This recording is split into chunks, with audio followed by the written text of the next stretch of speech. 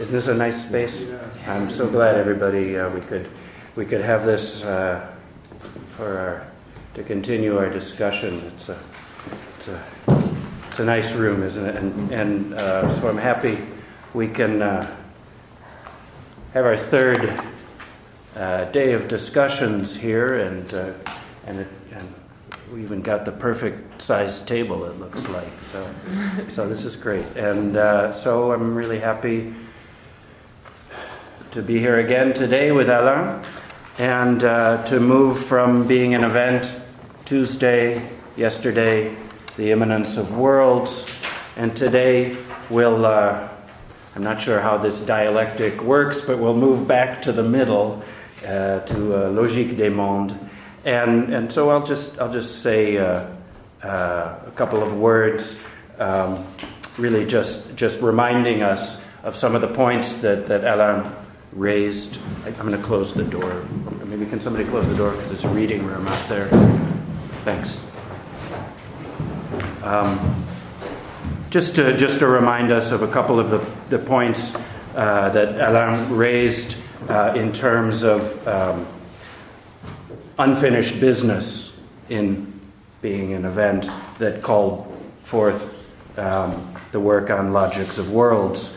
Um, in toward 2006.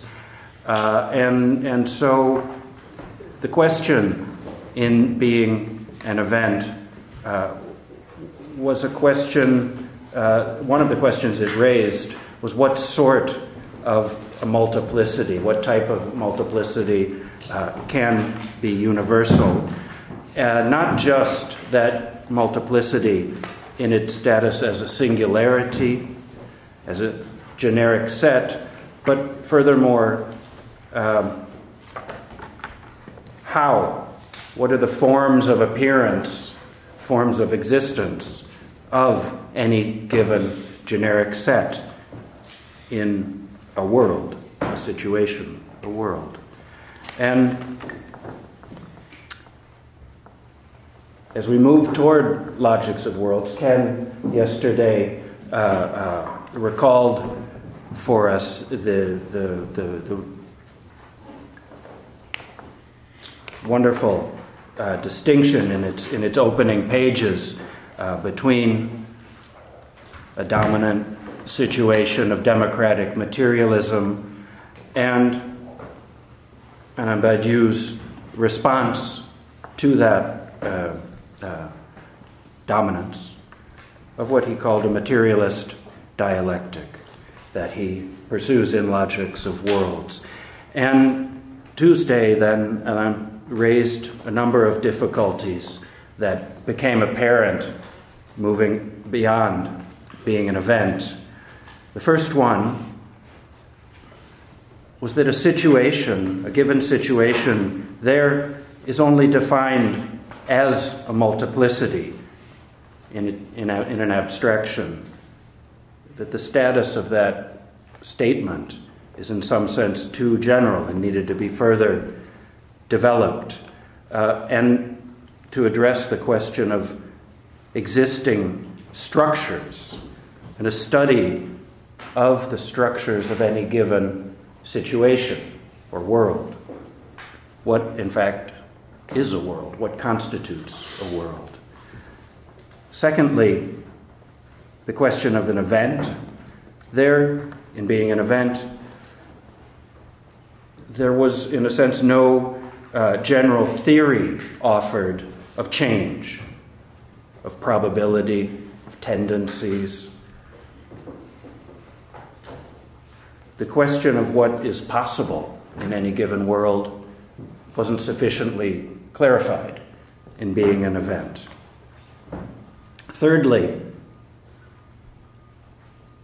we raised the question of universality, moving out of Being and Event. That in Being and Event, uh, universality itself only receives a, a negative definition, right? and that genericity, the generic, uh, uh, is not directly reducible to the properties of a situation. And so, Logics of Worlds then sets forth a new theory of singularity that's not simply abstractly generic, but of singularity as such. The question of the subject is further developed there, uh, not simply as, a, as, a, as an infinite procedure, a truth procedure, uh, but also in its various forms, possible forms of appearance, uh, those various subjects, modes, we might say,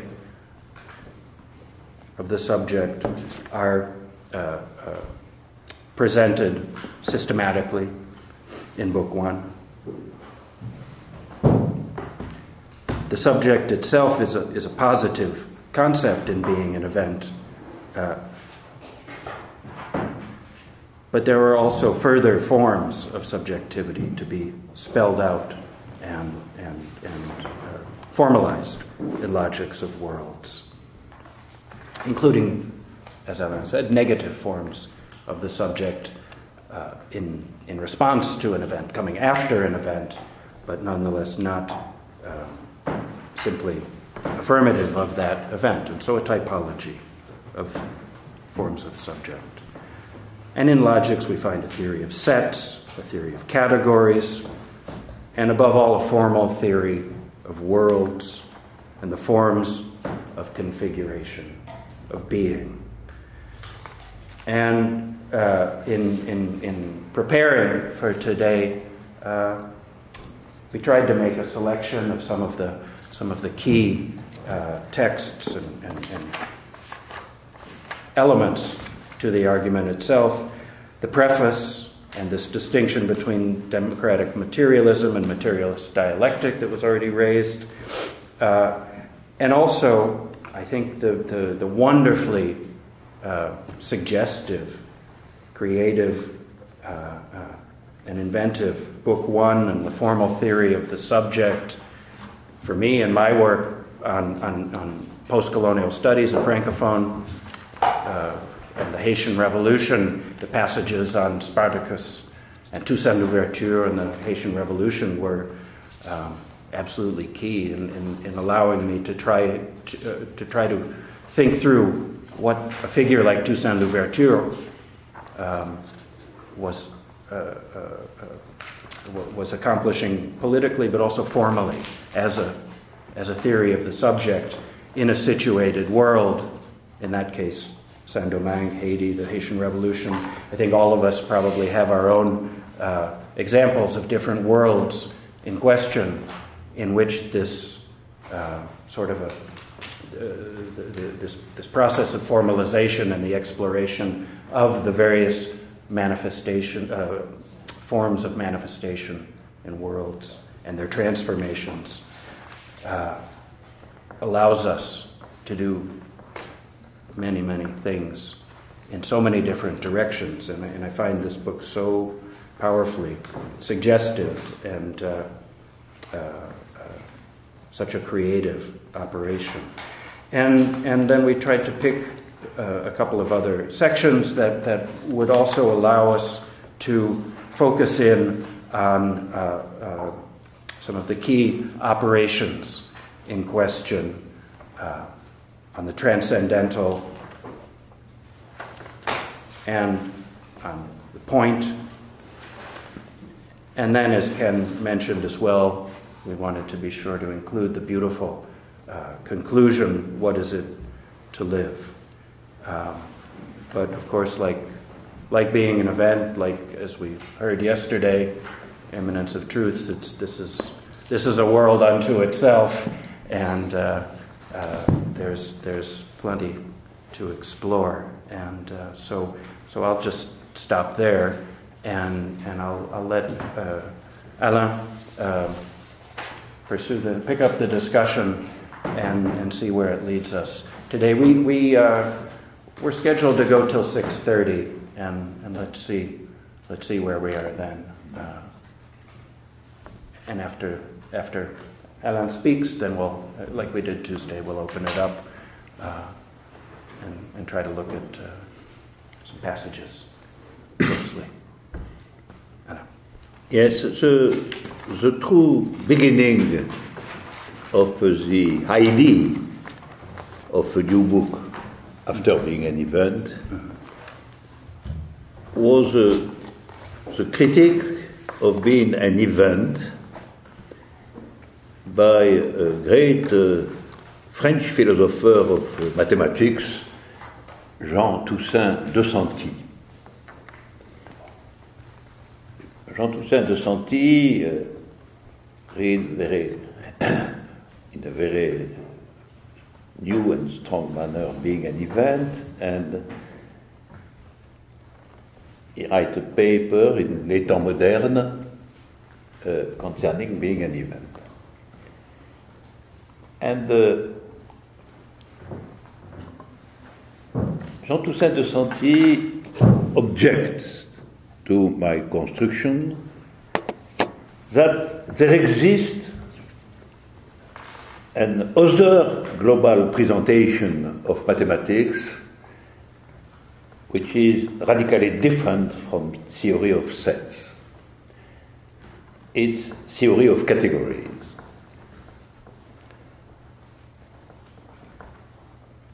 Theory created between the 40s and the 60s by Lawvere and some others. And so Desanti thinks that uh, he thinks that uh, in some sense it's not really possible to say that ontology is mathematics if the only support to that sort of affirmation is theory of sets. And his vision was that theory of sets, in some sense, maintains the idea of substance. A set is a unity composed of elements, and it is why he named intrinsic intrinsic, intrinsic, intrinsic ontology. Ontology which, is, which size the, the thing as such. And uh, he affirms that in theory of categories, there is another proposition, completely different, which is that mathematics is not at all reducible to a theory of some entities, sets, but is only a general theory of relations. And so the accusation of Desanti was that I remained a substantialist in the field of uh, ontology because uh, even if maybe mathematics is ontology is certainly not because it's a theory of multiplicities, but because it's a theory of relations. Maybe a theory of relations between multiplicities, but uh, also theory of relations between two different relations, for example.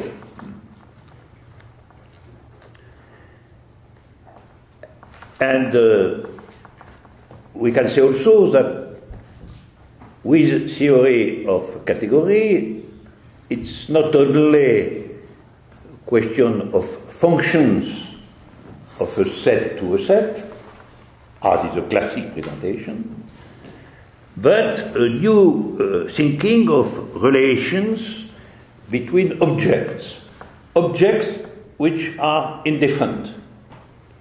It can be said, but there is no obligation that object be So it has been the point of departure of a great meditation for me.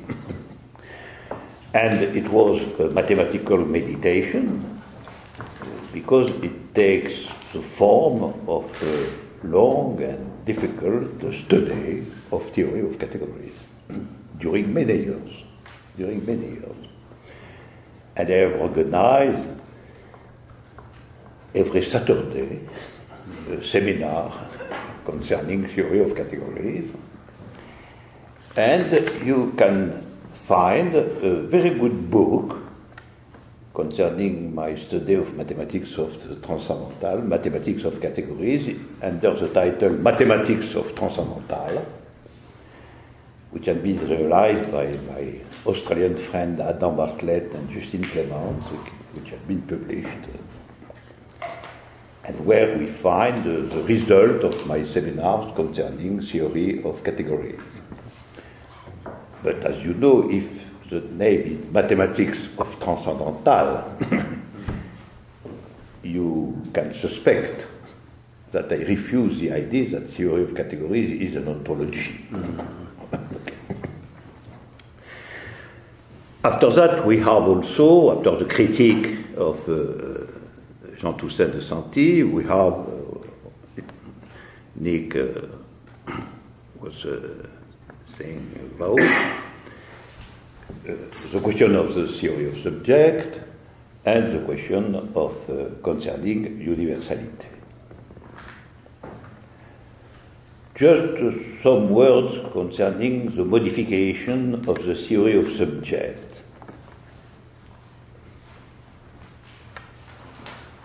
It's a, a, there is a, something like a story concerning the modification of the theory of subject, because I was in New York, in fact, and in the snow, very big snow, and it was impossible to go to Los Angeles to see my friend. so I was blocked in New York in the snow, really a stranger in the snow. And I have suddenly a new idea concerning the subject. So it's a New York, uh, New Yorkers idea. And uh, the idea was, in fact, in its first form, that why subject would be exclusively a positive category. Why subject would be, in some sense, a normative category. And so suddenly, I think that it was not the case, that it was impossible to affirm uh, that subject must be not only an ontological concept in some sense, but also an ethical concept. And so uh, the point was to divide the category of subject, and naturally it was by necessity in regard to the event, because the event is the absolute beginning of the possibility of a new subject. And so uh, I think that finally we have two possible positions concerning an event, and not only one. First, we must recognize that the event is an event, and it's not a necessity. An event don't say that it's an event. must decide in some sense, and it's the first manifestation of a subject, must decide that an event is an event, and the act of the decision is to name the event, to give a name to the event. So we can recognize the event, and the complete recognition of an event is to accept the consequences of the event. Not only to say, okay, there is an event, but to be engaged in the consequences of the event and to become what I can name an activist of the event. And uh, in fact, in my vision, there is no creation and finally no truth without activists of these truths.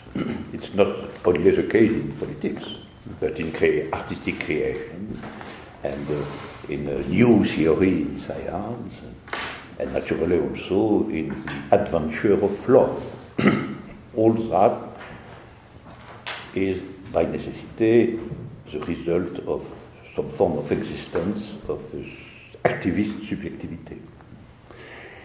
Though the first form, the first form of the subject is to be an activist of the consequences of the event, and as you know, it's the faithful subject, where the subject is defined by its faithfulness in regard to the event. The second possibility is to assume, to accept the existence of an event, but in uh, the vision that we don't accept consequences in some sense. And it's a position, a divided position in some sense, to recognize the possibility of uh, something new, but uh, to affirm that uh, it's not a necessity to be an, an, activist of this novelty,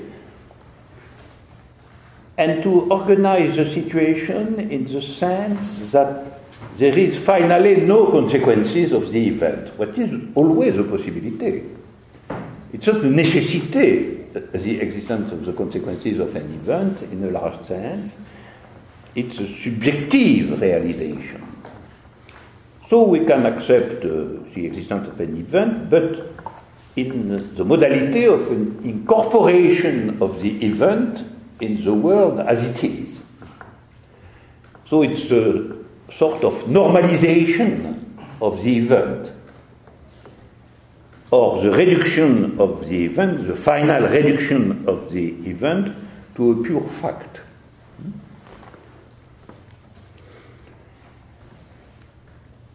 It's uh, the position of a reactive subject.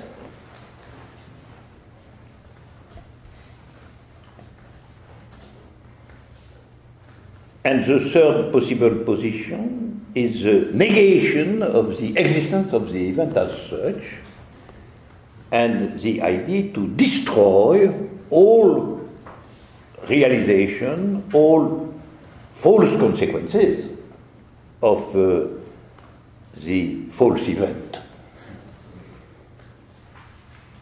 And uh, it's the obscure subject. Naturally, in my mind, the obscure subject was all the form of fascism. that is the reaction to uh, the revolutionary event by the destruction of all consequences of uh, uh this, that sort of event. So, faithful subject, reactive subject, obscure subject, was a new elaboration of the notion of subject in regard to one point, and there are many other points concerning the subject, in regard to the point of the position uh, in regard to the event.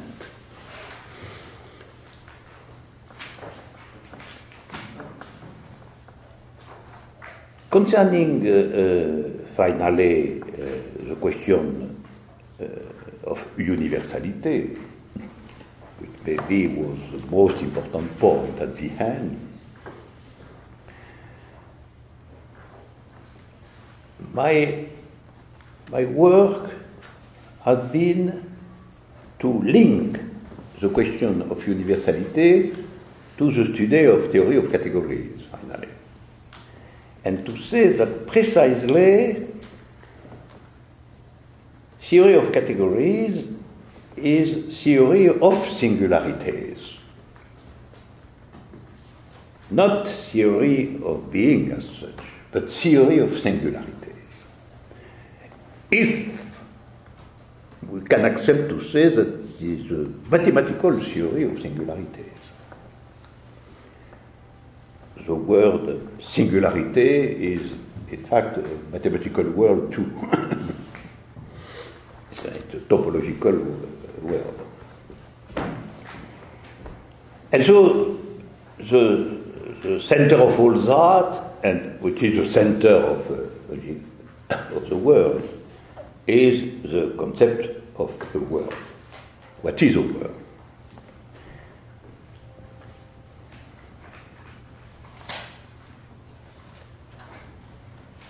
In some sense, uh, world is something very simple. I can give the schema of the world. Is uh, a set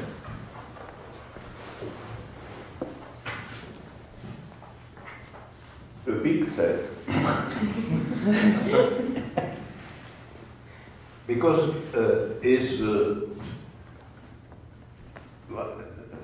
the, world must be it must be a more bigger set, but it must be inaccessible.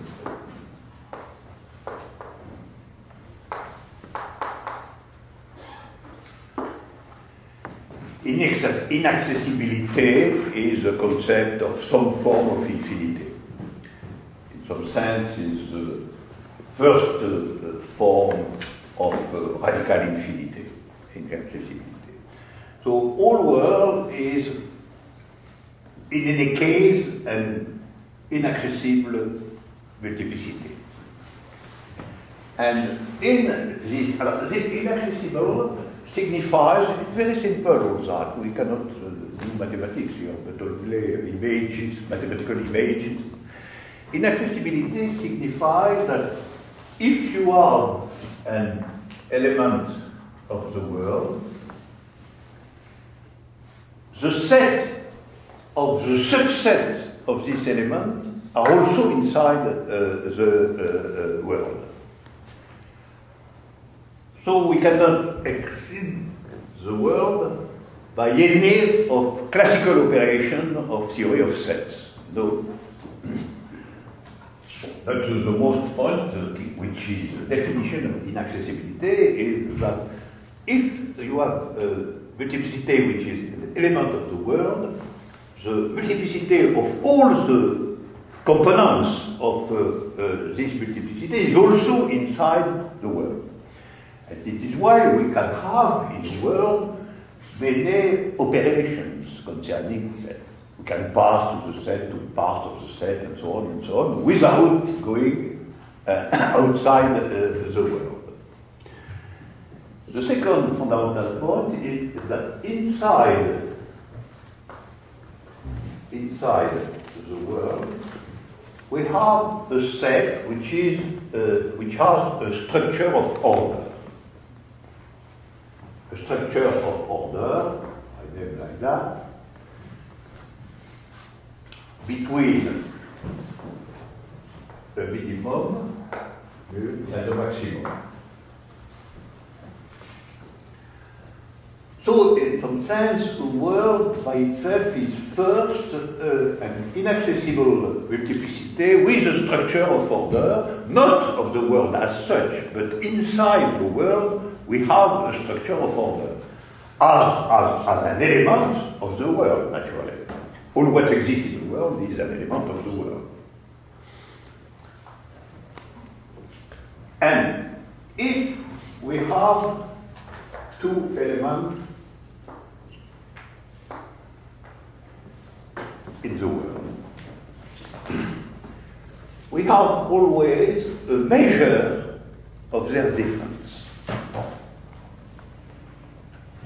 That is, you have a function, what I name a function of identity. We have a measure of the measure in which the two elements are different or identical. So the general idea is that the world is a universe where we can have relationship of identity or difference. We can say more generally that the world is a multiplicity in which we can appreciate the identity of the terms. Identity or non-identity. And the point is very simple. You, you, you have a measure of the distance, the difference between element A and element B in the structure of order which is inside the world. So, uh, if the relation of identity between A and B is maximal,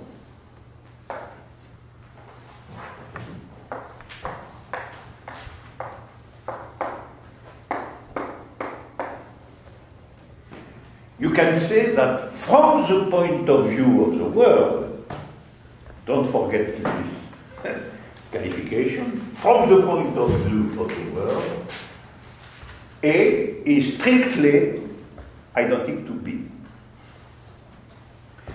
If you have, on the contrary, something like identity of A and B equal minimum, you can say that from the point of view of the world, A and B are absolutely different. And after that, we have, it depends on the structure of order, all possibility between mu and n of identity. So we can go from absolute identity to absolute difference with all different possibilities between absolute identity and absolute difference. With that, we have a world. So, see, very simple.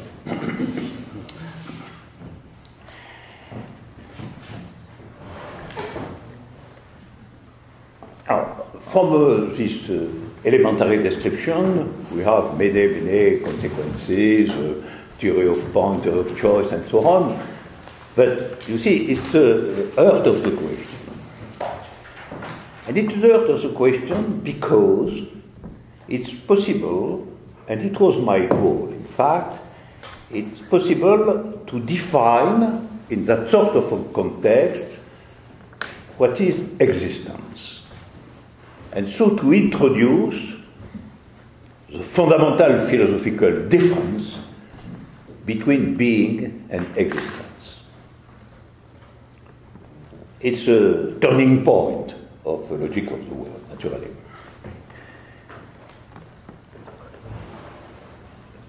The question of existence is introduced as such. The existence of an element of the world is the identity of this element with itself. Okay. Alors, immediately that the identity of the element with itself, uh, uh, the principle of identity in Aristotle is A is identical to A, but not in a word precisely. In a word, no obligation that the distance of A to itself is the maximum. We can have different uh, possibilities of uh, the modality of the existence of an element in the world, which is that if if we have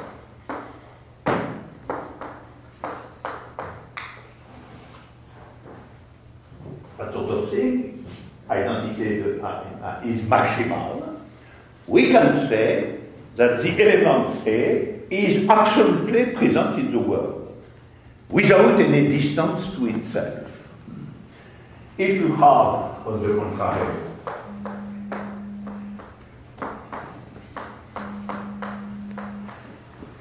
we can say that uh, the element A is in some sense not present in the world, but it, be, it is in the world.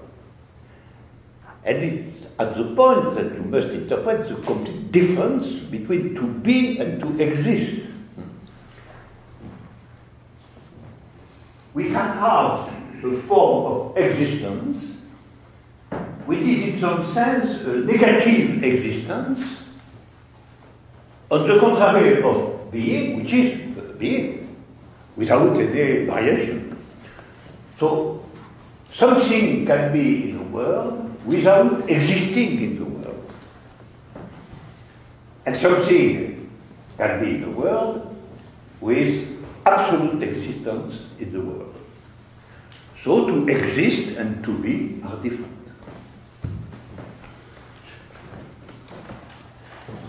And it's, uh, it's a new concept of existence by its uh, difference to with being. In some sense, being is uh, always under the law of uh, to be or not to be, the Hamlet, the Hamlet theorem. but uh, there is no uh, uh, to exist or not exist. It depends of the structure of order.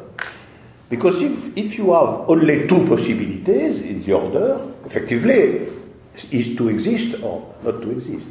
But if you have many possibilities, we have to exist uh, in a strong manner, to exist in a weak manner, uh, and finally to not, not exist at all, but, but to be.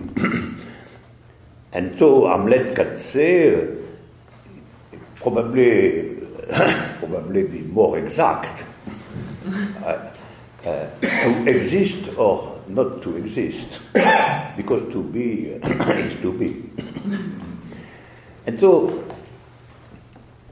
the, the concept of the world is fundamentally uh, the concept, the place of uh, distinction between being and existence.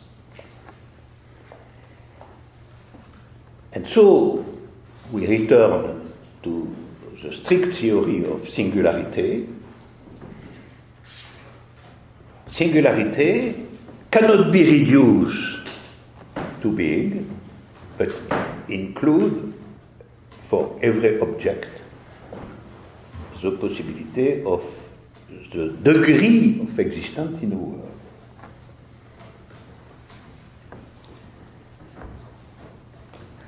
And so, when you examine the question of universality, we must be in relationship not only to the question of being, but also to the question of existence.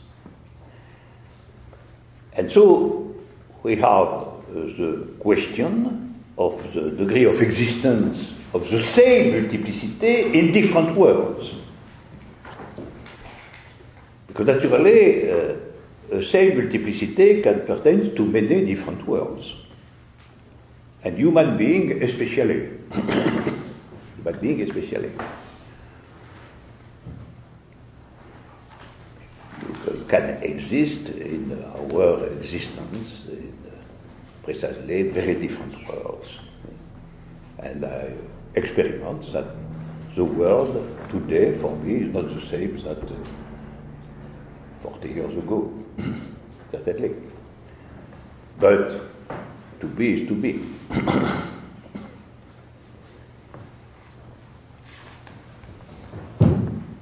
and uh, after that, uh, and it's my, my last point in some sense, after that, uh, in some sense, logic of the world is the logic of existence.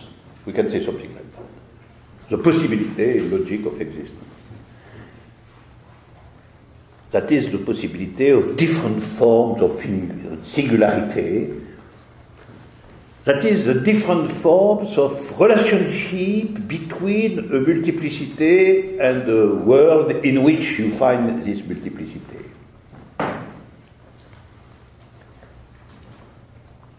And for that, uh, we can use the theory of categories because it's a question of relation, in fact. Relation between uh, uh, an element and the structure of order, relation of uh, existence and being, and so on. And it's uh, the, uh, the point where we have a new style, in my sense, in logic of the world, uh, very different from the style of Being and Event. Because Being and Event is largely, in largely the model of mathematics with uh, uh, definition, consequences, demonstration, and so on. And uh, logic of the world is largely in uh, uh, more, more in the model of theory of categories, the model of description of singularities. So we have in the first book a conceptual organization and axiomatic organization of the proposition, and in Logic of the World we have many examples, many descriptions. It is why we can find uh, architecture, uh, painting, uh, literature, uh, theater, uh, uh, war, and so on. You can have the the description of love uh, in uh, the novel of Rousseau, you can have uh, a painting of the 18th century, you can find the theater of Sartre, and so on.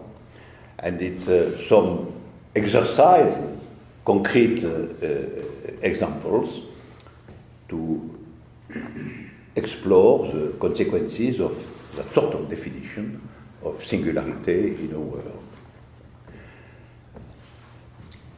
The end of the book, uh, the end of the book is problematic in some sense. It's problematic because uh, uh, finally uh, there is a different definition of uh, truth in logic of the world that in being. Because the problem of uh, logic of the world is to examine what is the existence of a truth. A big event was the examination of what is the being of a truth.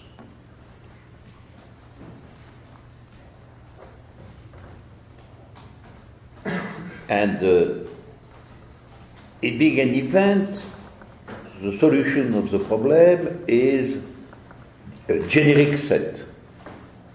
The structure, the ontological structure of a truth is a generic subset of the situation.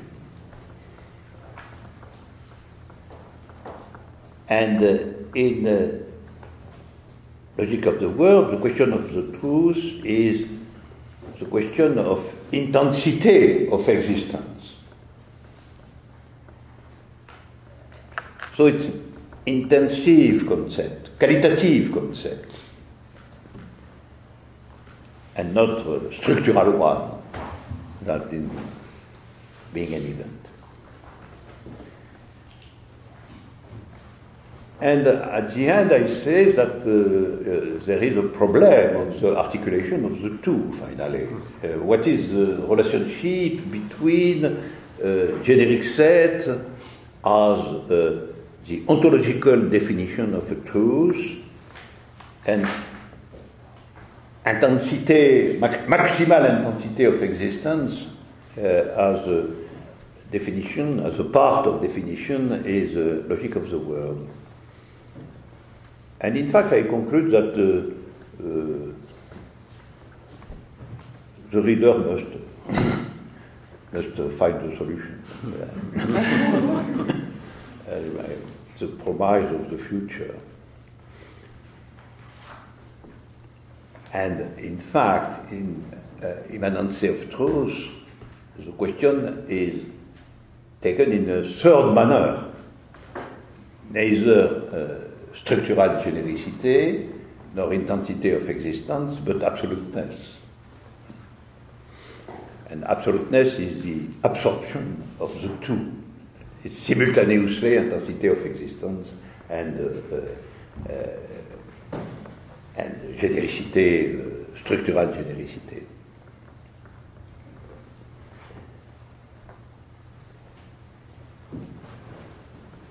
So, uh, my last word, I think that uh,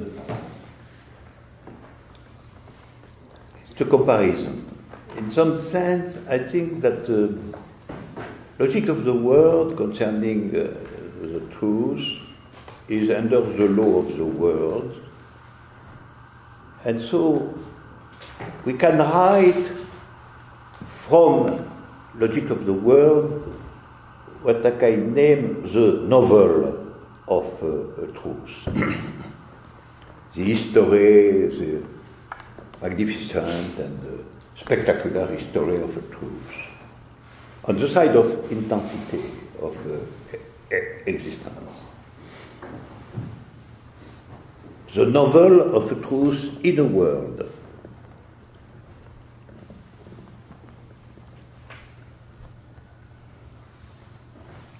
And in fact, the point of the possibility of the real universality, the point of the possible existence of the same truth in another world, is the possibility, it's a metaphor, it's a possibility to translate a work of art in a different language.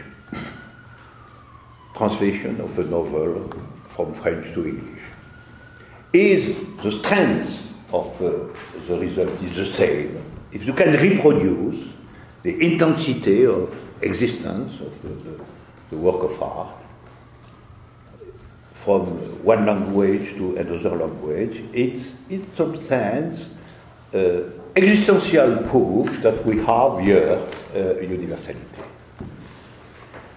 So it's not at all the same thing that the mathematical problem of genericity uh, it's another problem. Finally, uh, more concrete in some sense, because everybody uh, uh that uh, if uh, the strength of something can be translated in another language, it, that strength is the real strength. and the most decisive point is the translation of a poem. I think, you know, uh, very often it's indeed that the poem is not, it's not possible to translate really uh, poem. I think that, on the contrary, we can see that to recognize a very important poem is the fact that it can be translated. It can be translated maintaining the strength, the artistic value of uh, the poem itself. And it's something like in the orientation, that sort of orientation which is uh, uh, examined uh, in some sense in logic of the world. We can say, I say that to, to you, that uh, we can say also that finally the, the proof of uh, the truth from one world to another world is that the translation confirms the infinity of uh, the first word. And it is why a translation can be very different from the original and being the same. Because in the infinite, we can have the possibility of identity and difference.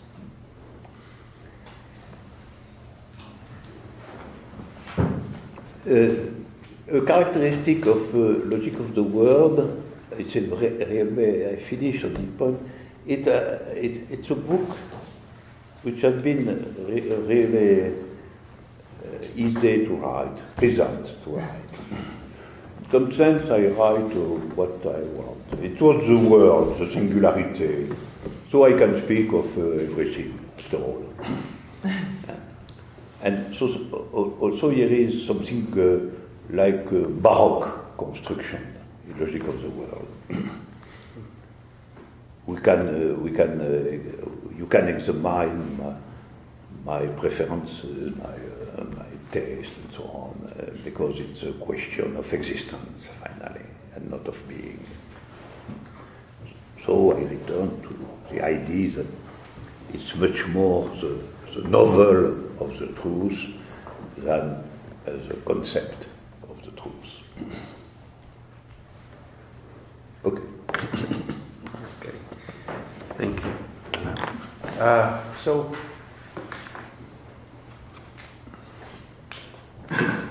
we've already gone for an hour. Should we take a, a five minute uh, a break and, and if anyone wants. All minutes you want. we are in a novel. Okay, good. Let's, say just five minutes. Yeah, there's coffee, there's water, there's juice, and then we'll start Five. uh, questions. It's a, que- it's a question of uh, the, the structure. Uh, you are in a world where five is ten. Yes, that's it. That's it. Infinite expansion. Yeah. Uh, the restrooms are out. Oh, actually, they're they're, they're up above. Yeah, yeah. C'est vraiment très bien de communiquer. I did, yeah. C'est magnifique. C'est magnifique. Je regrette seulement qu'ils n'ont pas pu faire la vidéo parce qu'avec la démonstration, on va, on va prendre en photo. Mais. Je vais faire, je vais faire de même, mais puis ah, on peut accompagner le son avec, euh, Parce que avec la vidéo. je, je voulais montrer que le concept est très simple. C'est ça. Oui, il est très simple en réalité. Parce qu'après, on peut faire des calculs compliqués pour démontrer ceci ou cela. Oui, bien, oui, sûr, bien sûr. Parce que, évidemment, une fois qu'on a l'existence, alors l'existence par rapport à la différence, etc. etc. Mais c'est très simple. C'est simple et je pense que c'est très efficace. Pour moi aussi, c'était une démonstration. euh, Et encore en plus le fait que il y a, ça veut dire à distance de soi-même, c'est très vrai. C'est très vrai. De soi-même et que c'est ça qui est malheureux. Et c'est donc le signe monde, toujours. Et à la limite, le très malheureux, il se suicide. Ce qui veut dire qu'il veut euh, aller dans le minimum de, le très heureux, Mais peut-être qu'il se trompe. Enfin, bon, Peut-être. Ça, c'est la béatitude. So construction of an internal model using the truth of ultra power maybe for uh, this default of recovery and world from our individual sections is how we could Within that perspective, there were people who were the faithful. Yes, that was the event. And there were only the obscure subjects, the reactive the subjects. domain of infinity So any particular world will be constituted by some kind of event. And this will is contain the- all possibilities, this is again, of responding to relation explicit the capacity to produce a model that's internal to V but resembles uh, as the properties of an of a huge history, you know, as, um, as something that involves a movement, let's say, from one world to another. Let's say, you know, Is this in scientific terms, let's say, to from confusion. Of course, it's confusing. It's a particular model You know, one of the interesting questions is, what is, the- what, what is the possibility of continuity of truth in between those worlds?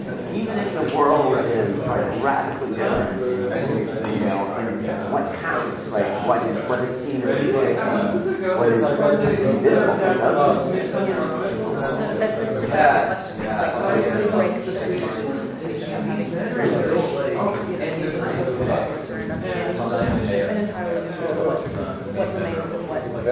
remains, and in a sense, what, um, what translates, you know, from one world to the next. Um, or or what is, you know, really a truth procedure.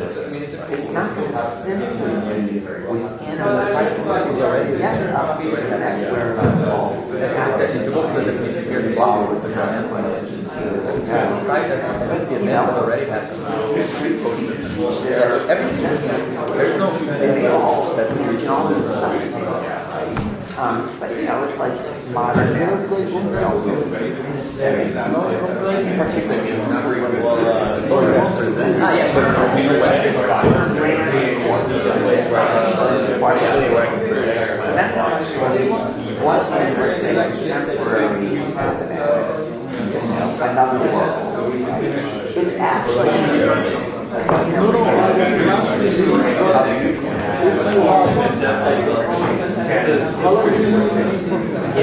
So one is, you not surprising to see that one of the historical questions that you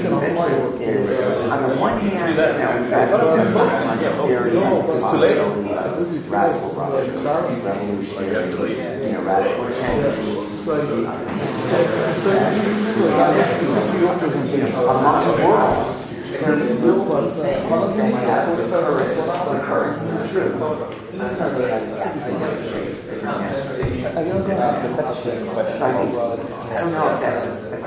Can't we just squat historians, you know, to? It's just interesting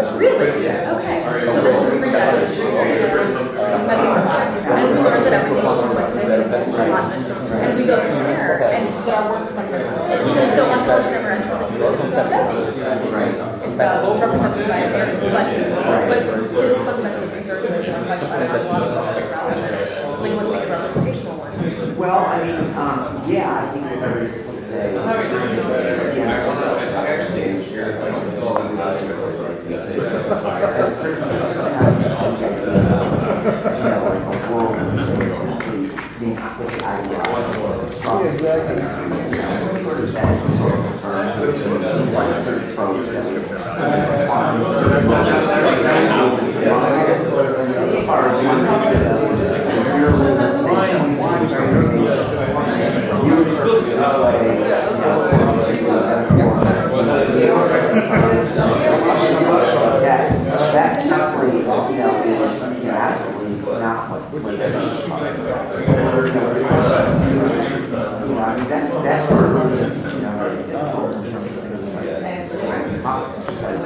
You want to say there's something. How many minutes still? You need to, go ahead.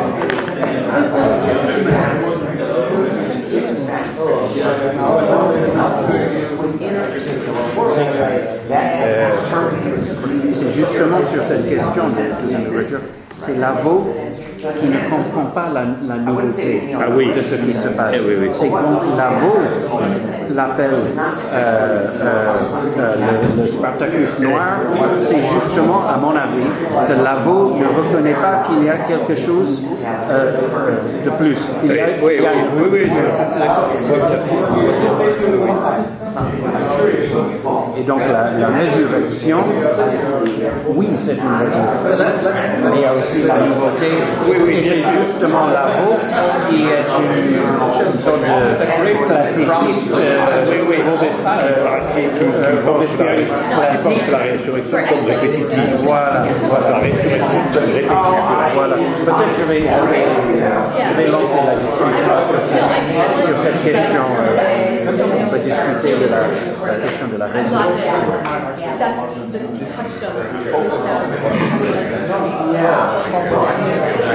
Mais comme tu dis aussi, il y a un prolongement vers le futur parce que c'est aussi Rosa Luxembourg.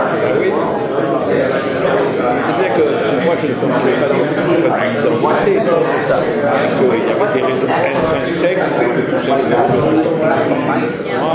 et que l'amour groupe spartakiste. Ça ne veut pas dire que c'est une répétition. Question d'identité. C'est- des segments. C'est comme si la résurrection est le souvenir de cette intensité. Mais pour la question de, dans mais, mais comme ne peut pas être la. Voilà, il y a, il y a un degré d'intensité qui est posé par la. Par ce, Voilà, et, ben, et, et, et ce degré d'intensité transite.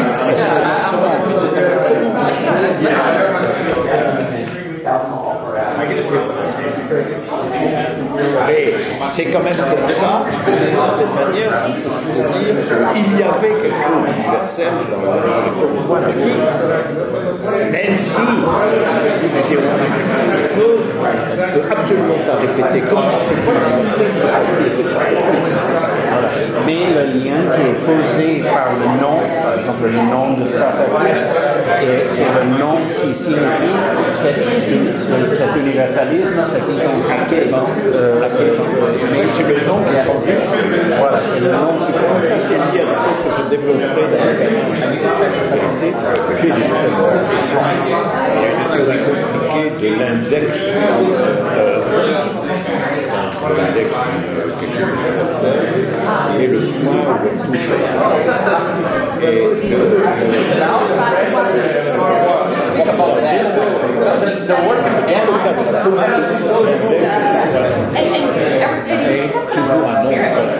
Yeah. Okay, maybe we should get going because our time is short. We can close the door. Are we waiting for you? Questions Thank you. Des questions écrites.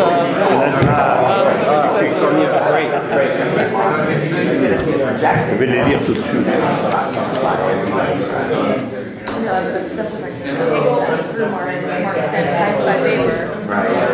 You you yeah.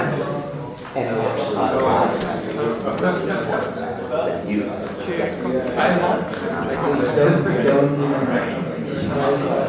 Oui.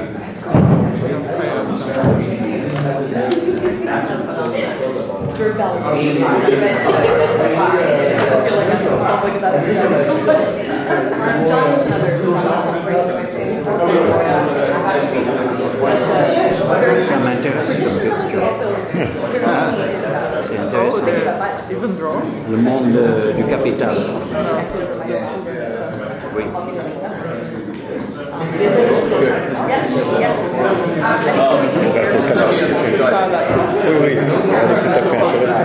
Yes. Okay, uh, shall, shall we begin, everybody? Um, our time is short. Uh, we have we have two questions here. I'm going to uh, uh, get things rolling with my own question. Uh, first of all, if I if I may, which is is is uh, addressing in the in the first book uh, and the the uh, uh, faithful subject on 64 and 65. There's the discussion of Spartacus and Toussaint Louverture, uh, and I, I wanted to invite Alain to, to uh, discuss the concept of resurrection. Uh, because in my reading of these, of these two pages, uh, Spartacus there's a, has a certain um, conservative uh, dimension, that is, to return home.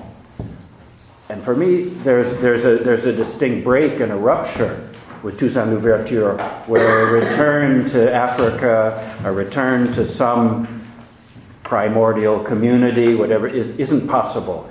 And so Toussaint Louverture is, is forward looking precisely because of an identification with a, a universal equality, emancipation, freedom, whatever that might be, all of those.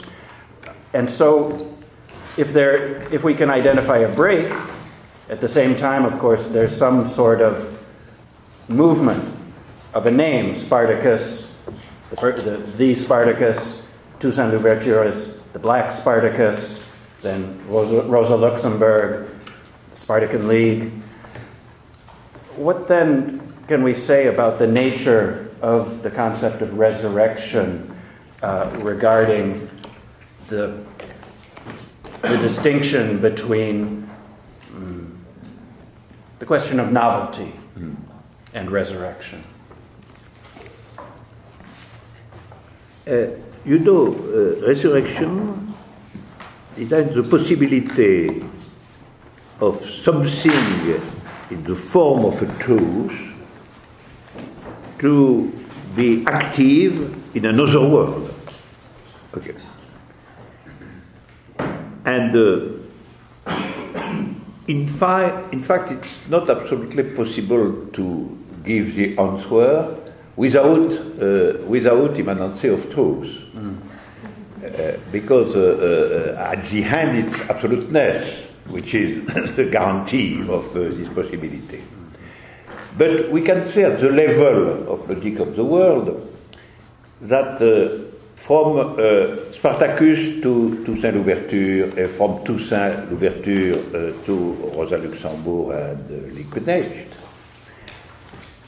we have the possibility of a specific form of intensity, of intensity, which uh, is abstractly similar in some sense, because is the novelty of something, the intensity of the novelty of some form of uh, revolt. This form of revolt being completely different in the three cases. But something of the intensity of that sort of form of revolt can be recognized in the three cases. And so uh, we can say simultaneously that we have here a complete difference of worlds, Roman Empire, uh, uh, and after that, uh, colonial situation and uh, slaves in Haiti, and after that, revolt of workers uh, in a capitalist uh, world. But that some part of all that is, is a, in a transition uh, from the beginning, uh, which is uh, uh, the, the part which can be resumed in the form of the possible intensity of uh, that sort of specific revolt against the dominant order. And the revolt, of, uh, we must examine the question of the slaves in Roman Empire, because the question of the slave in Roman Empire is not at all the same as the question of the slave in uh. Because in Roman Empire, a slave is a prisoner after a war. And the slaves came from all countries. And so when uh, Spartacus says that the goal of the revolt is to return in their country, uh, is uh, uh it, it's uh, the content of the situation. It's not, it's not uh, something like a restriction of some another possibility. They are not at all in the idea to, to, to destroy the, the, the, system of the, the slaves. But are, the idea is that they, they, destroy the consequence of the fact that as a prisoner they are slaves. And the only possibility to do that is to return in uh, their country. And naturally, it's not at all the same goal for uh, Toussaint Louverture, because Toussaint Louverture uh, won't destroy the uh, slavery. But at the end, there is something which can recognize at the level of, uh, uh, of the political intensity of that sort of uh, action, which goes from Spartacus to Spartacist uh, by Toussaint Louverture. And it is why the proper name is adequate. Because, as you know, uh, the, the, the, name of Toussaint Louverture has been uh, the, the, Black Spartacus, and Rosa Luxembourg uh, named the organization Spartakist. And finally, the, the transit of the name is a symbol of the transit of intensity, which is represented by the name in different worlds. And, why, and so the consequences is very important to understand that resurrection uh, is not repetition. Resurrection is not repetition. Something is repeated, for example, the name, but the repetition is the support of novelty. And it's precisely the novelty that in the three cases is the same thing. Novelty of uh, uh, the revolt of the slave, novelty of the revolt of uh, the black slave, and novelty of the revolt of workers in Germany that can be uh, resumed in a form of resurrection. That is, in all the case, something new. And something new inside the process of resurrection, of the recognition of the intensity. And uh, uh, it, it is why uh, we, we, must understand at the level of logic of the world, uh, universality as the possibility of resurrection, including, naturally, that uh, resurrection is not repetition. Um, yeah, I can maybe read the questions. Yeah. Um, so we have the first one. Uh, so given the, des- the, the description of value by Marx, Marx in Capital, could we say that Marx is describing a world? Given that value within this world appears in the form of fetishism, which is objective, do you think your phenomenology is compatible with Marx? Mm-hmm. It was been for me a sad novel that it's not compatible. Certainly, and I, I, I, I it's a, it's a true vision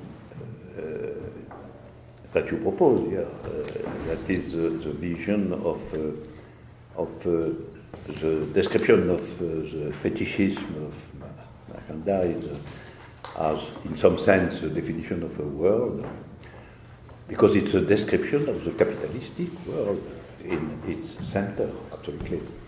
And it's uh, very useful today to think that at the end, capitalism can be uh, seen as a world, because uh, it's uh, always an attempt to, for capitalism to, to, to affirm that it's not a world precisely, it's a system, a structure, a possibility, a good possibility of for many worlds, or for all worlds, and so on. And it's much more critique to say, it's a world, really.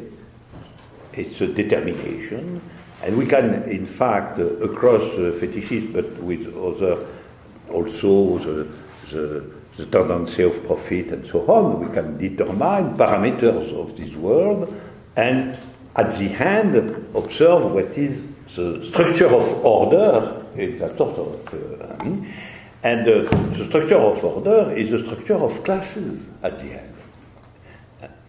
But uh, the construction of the order is inside uh, uh, a principle of uh, difference and identity, which we can observe in the, the, the, the basis structure of capitalism. So my answer is yes, and I appreciate that the answer is yes.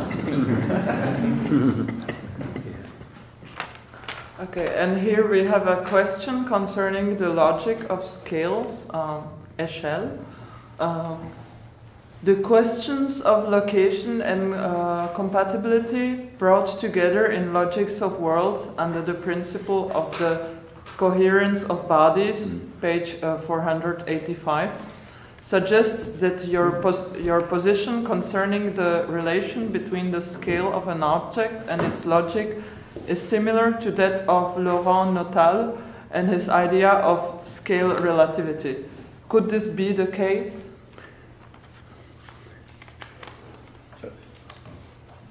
Laurent, Laurent Nottale is near a friend for me, and uh, I, uh, my, my answer is yes too.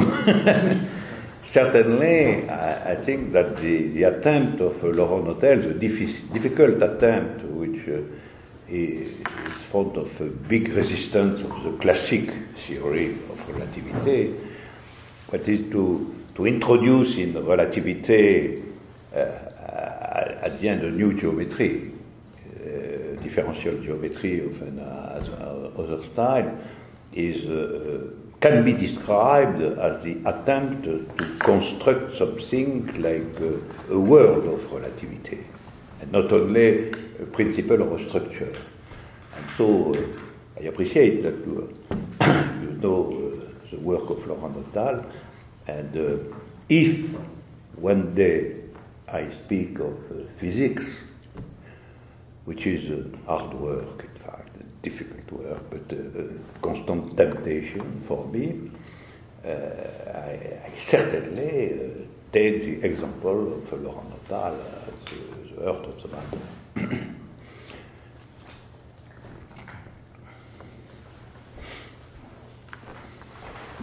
Um, so rereading logics, I noticed that your work often abuts Frantz Fanon. Um, in particular, here where you reference the Damnés de la Terre um, when describing the matheme for the subjectivated body. Um, but the name is never spoken, and I'm kind of curious about how you would describe uh, your project's relationship uh, to Fanon. Oui. Donc il remarque une certaine une proximité avec Fanon et les damnés de la terre, euh, surtout euh, au moment de la, la, la, construction du corps subjectivé sans que Fanon soit nommé. Mm -hmm. euh, donc, euh, euh, est-ce que, est que tu oui, peux... quel est ton lien Fanon it, it, it, was absolutely possible to name Fanon. It was not uh, my idea at the moment. but uh, uh, from the very beginning of my, my philosophical construction, I have read Fanon at the beginning with enthusiasm, in fact. Uh, and, and I, I, I, was a fan of Fanon uh, from my Sartrean origin. so it's, uh, and uh, I, I, think that the, the, the description of, uh, of uh, the, the, the, structure of oppression, the specific oppression, for example, of African countries and so on by Fanon, and the, the, vision of our world uh, with the operation, the intellectual and descriptive operation of Fanon are very striking, very interesting, no problem. yes. Um, in the uh, fourth section of the first part of the um, greater logic uh, titled Greater Logic and Ordinary Logic, uh, page 173. Um, you write that um, the materialist dialectic undermines this schema, uh, referring to uh, the question of the originariness of language um, as it's approached by analytic philosophy and phenomenology. Um, and you write the materialist dialectic undermines this schema, replacing it with the pre-linguistic operations which ground the consistency of a theory. As a consequence, logic, formal logic included, not to mention rhetoric, all appear for what they are derivative constructions, detailed study is a matter for, for, for anthropology. See, what page? Okay, so can we find the quote oh, first? 174, it's the oh. paragraph in the middle. With the no. point. This, uh, can clearly see.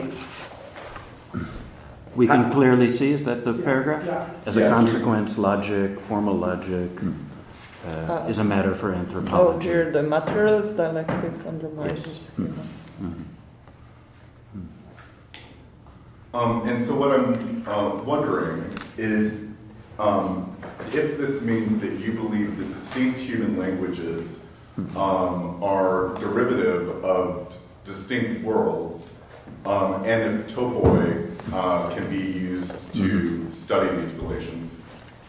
Est-ce que les, les différents euh, langages euh, humains, langues humaines dérivent des, des, mondes différents et sont dérivés des mondes différents Est-ce que la théorie des, des, des topos, des, la théorie topologiques euh, peut être utilisée pour, euh, pour étudier le, ces langages-là mm.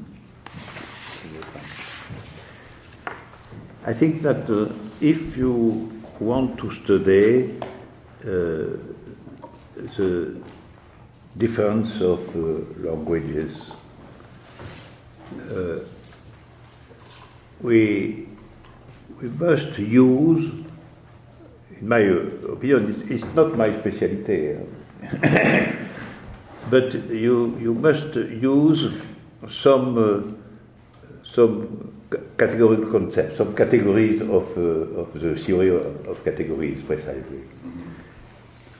Because uh, uh, as you know, the difference between two different languages is a very complex question because we don't know exactly what is the mediation or finally the, the, the order system which is latent in a definite language. And uh, the difficulty is also uh, the difficulty to find a mediation. Uh, what is, uh, uh, because we cannot assume that uh, with different languages we have in the same words. It's not true, after all. Mm-hmm. It's not true. And uh, uh, it has been uh, many times affirmed that two languages constitute, in fact, uh, two different worlds. And so uh, uh, the, the, the, question is to have a rigorous doctrine of what is the difference. The point. It is an example, uh, a very striking example of the difficulty to organize the concept of difference why? Because it, uh, I have right that the concept of difference defines a world in some sense. It's a definition of a world.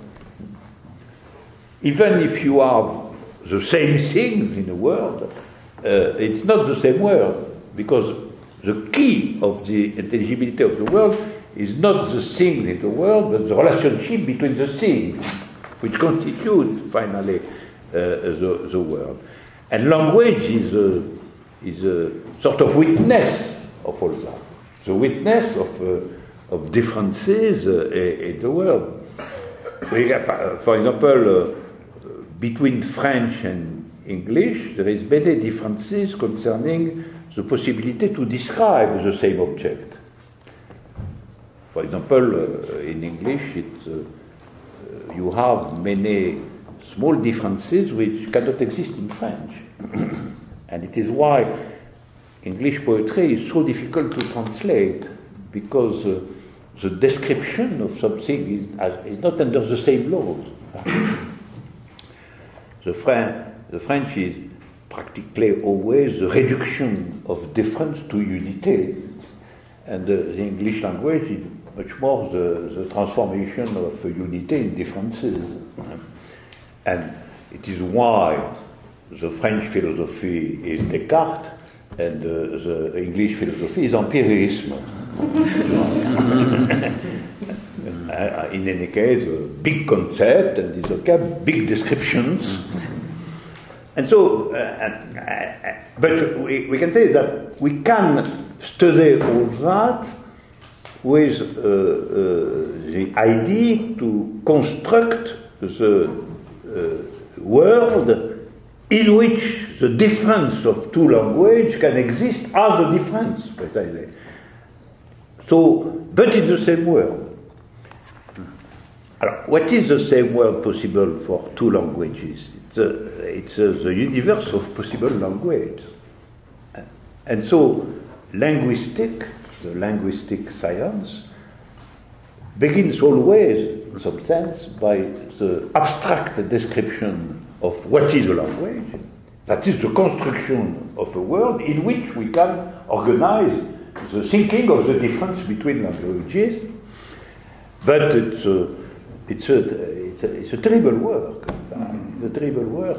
And it is why uh, linguistic is, uh, is uh, so interesting in some sense because it's an exercise uh, concerning difference, which is very subtle and very interesting. But uh, uh, for the philosopher, the difference of language is, is an obstacle, naturally.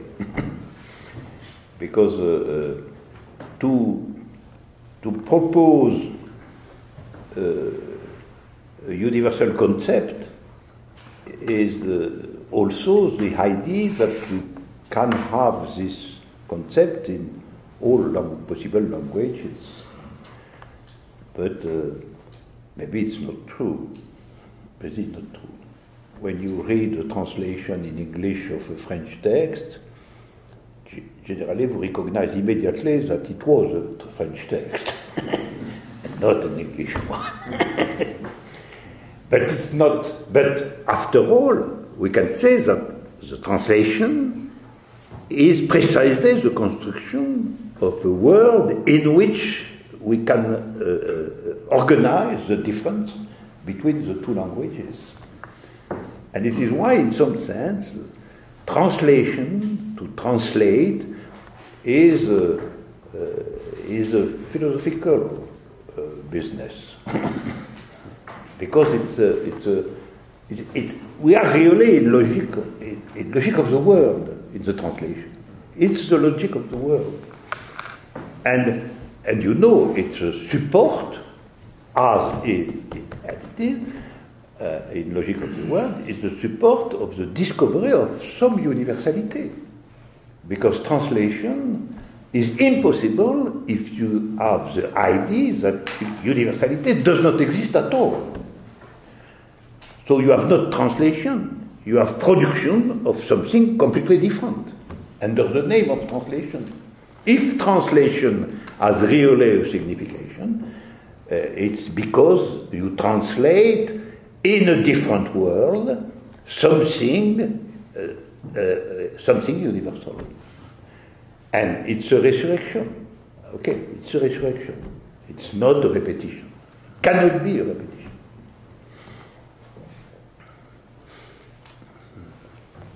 All right. Um, I, I've kind of written the question down, so I'll read slowly and you can. Okay. Uh, this question has to do with uh, two ways in which you kind of narrated the relationship between the, your books in the last, the last three days, where uh, day yesterday you began by talking about how in 1982 you were looking at a decade of counter-revolution, and that had to do with, and from there kind of emerged the, the, the project of uh, Being and Event as opposed to a theory of the subject. But on the other hand, the way in which you kind of narrated this movement has been in terms of arriving at the end of a book and then a philosophical problem arises and then you try to resolve it in the, in the next book. Now, my question to basically have to do with these two ways of narrating is that in, in late Althusser, we sometimes find this kind of dichotomy of a rationalist materialism and aleatory materialism. In your work, you seem to have kind of escaped this uh, this kind of conceptualization by articulating the problem in terms of the event and what you in St. Paul call a philosophy for the event. Uh, how or why have you been able to avert a problem that Althusser falls prey to? Uh, was it because you were philosophically mindful of the problem as an aporia that needed to be overcome? Or does it have something to do with the difference between your kind of historical situation and the nature of political engagement with Althusser in the 70s, 60s, 70s, and you? What, what, what's that Althusser's distinction? Uh, the rationalist materialism and aleatory materialism. Ration- Oh, okay. What's the second one? Rationalist imperialism. im- im- And aleatory materialism. oh, and, oh, and aleatory materialism. Um, oh. Okay, so it's long question anyway. Well, Alors, in the question of the construction of a new world, to understand all the, to organize the discussion. Alors, il parle de comment en fait tu organises ce lien entre tes trois livres, où chaque fois en fait tu développes ton, ton livre comme être l'événement, et après en fait tu, tu arrives à la fin du livre et tu découvres un nouveau problème philosophique qui Mm. apparaît dans, Oui. dans- que tu essaies de résoudre dans un autre livre. Et après, il parle de cette distinction de Althusser entre le matérialisme rationaliste et le matérialisme aléatoire, et comment en fait cette apo- aporie de cette distinction de, de- entre deux types du matérialisme était importante pour What was the last sentence, the question? How you escaped from it? How did you escape Ah, from comment, that? comment tu as échappé à cette aporie entre le matérialisme rationaliste et le matérialisme alé- aléatoire? Uh, it's a, it's a, it's a practically, uh, uh, the, practically the question of being an event. Because uh, uh, event uh, is an aleatory concept. Event is something which is inside chance, uh, probability and improbability, surprise, uh, something which uh, uh, which is uh, outside uh, the established laws of, uh, of the world. So, for me, a truth is always a result of uh, a sort of intersection of something on the side of uh, aleatory materialism, if you want, and something which is on the side of uh, rational structure. Because the truth is the consequences in a field of uh, rational structure of something uh, which uh, happened by chance in some sense. And so uh, uh, I think that as it, as it happens sometimes in Althusser, uh, you have, you have something which is an opposition without dialectics. opposition of two terms without dialectics. And uh, I think there is no opposition between rational materialism and uh, aleatory materialism, in fact, because uh, precisely uh, the materiality of uh, truth is uh, composed of dialectics between chance and necessity.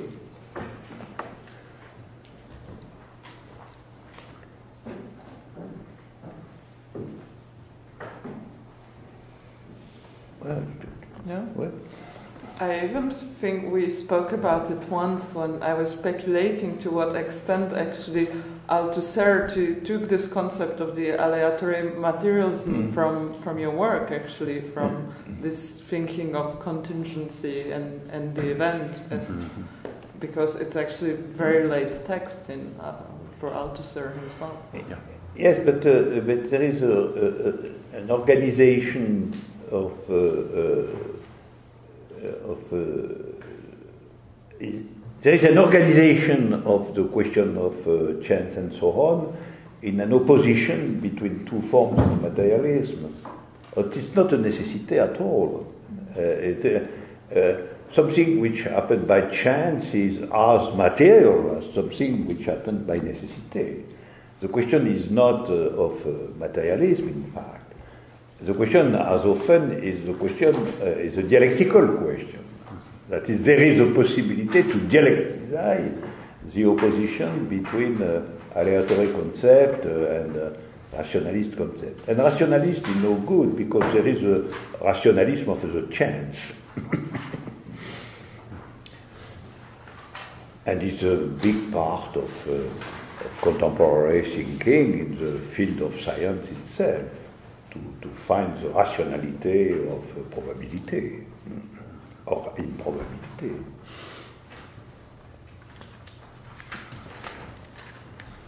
Um, in, in, listening to the discussion, as well as in many points in the text, um, I've, I've become very curious about what you might say to the adoption or taking up of many of the principles and logics of world um, to try to arrive at a, a, general theory of historical change, especially because um, I was just talking with Ken about this and, and my colleague John, who is um, also in, in, the history department, and a lot of the way that we're trained is, is history as narrative and representation.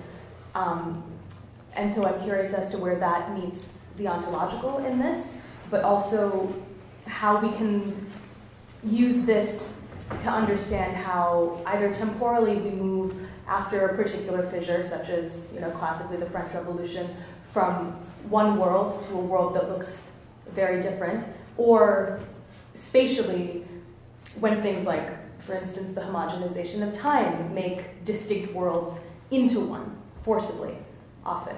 Um, and so there, I mean, there's a passage at the very end of the Scholium chapter on page 503 of the English, just before the conclusion.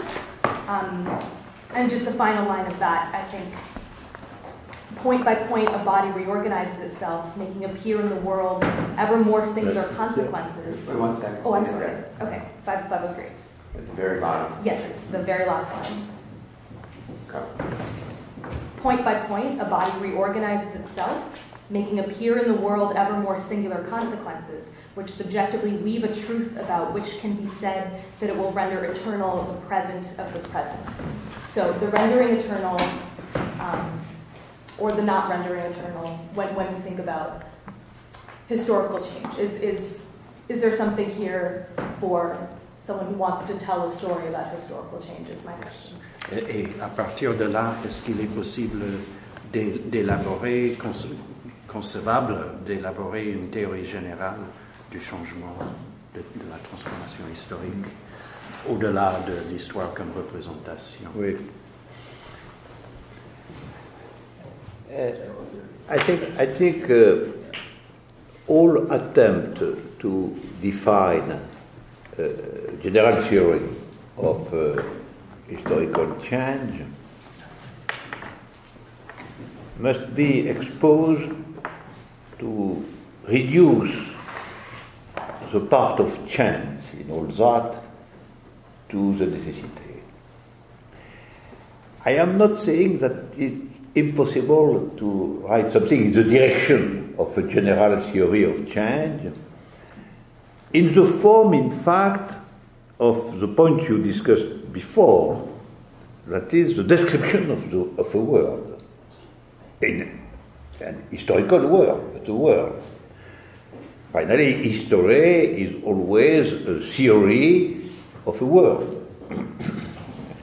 a world which is uh, the world, uh, uh, maybe uh, the world of, uh, of uh, Roman Empire, or the contemporary world, or. Then. So, history is not empirical description of fact, because it's, it's, it's without interest. History is always the proposition of a structure. Uh, there is many forms of structure, uh, but uh, as we have said, Marxism is the theory, the historical theory of the contemporary world, the name of which is capitalism. But you, you, you, when you describe a world, you are also in the necessity to accept that inside this world can something can happen,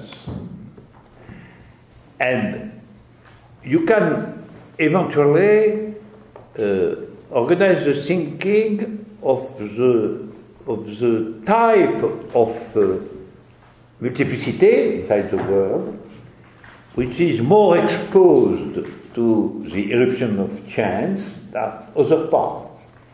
For example, it Being and Event, I explain that uh, some form of multiplicity that I name evental sites are more exposed to uh, become the support of an event than others.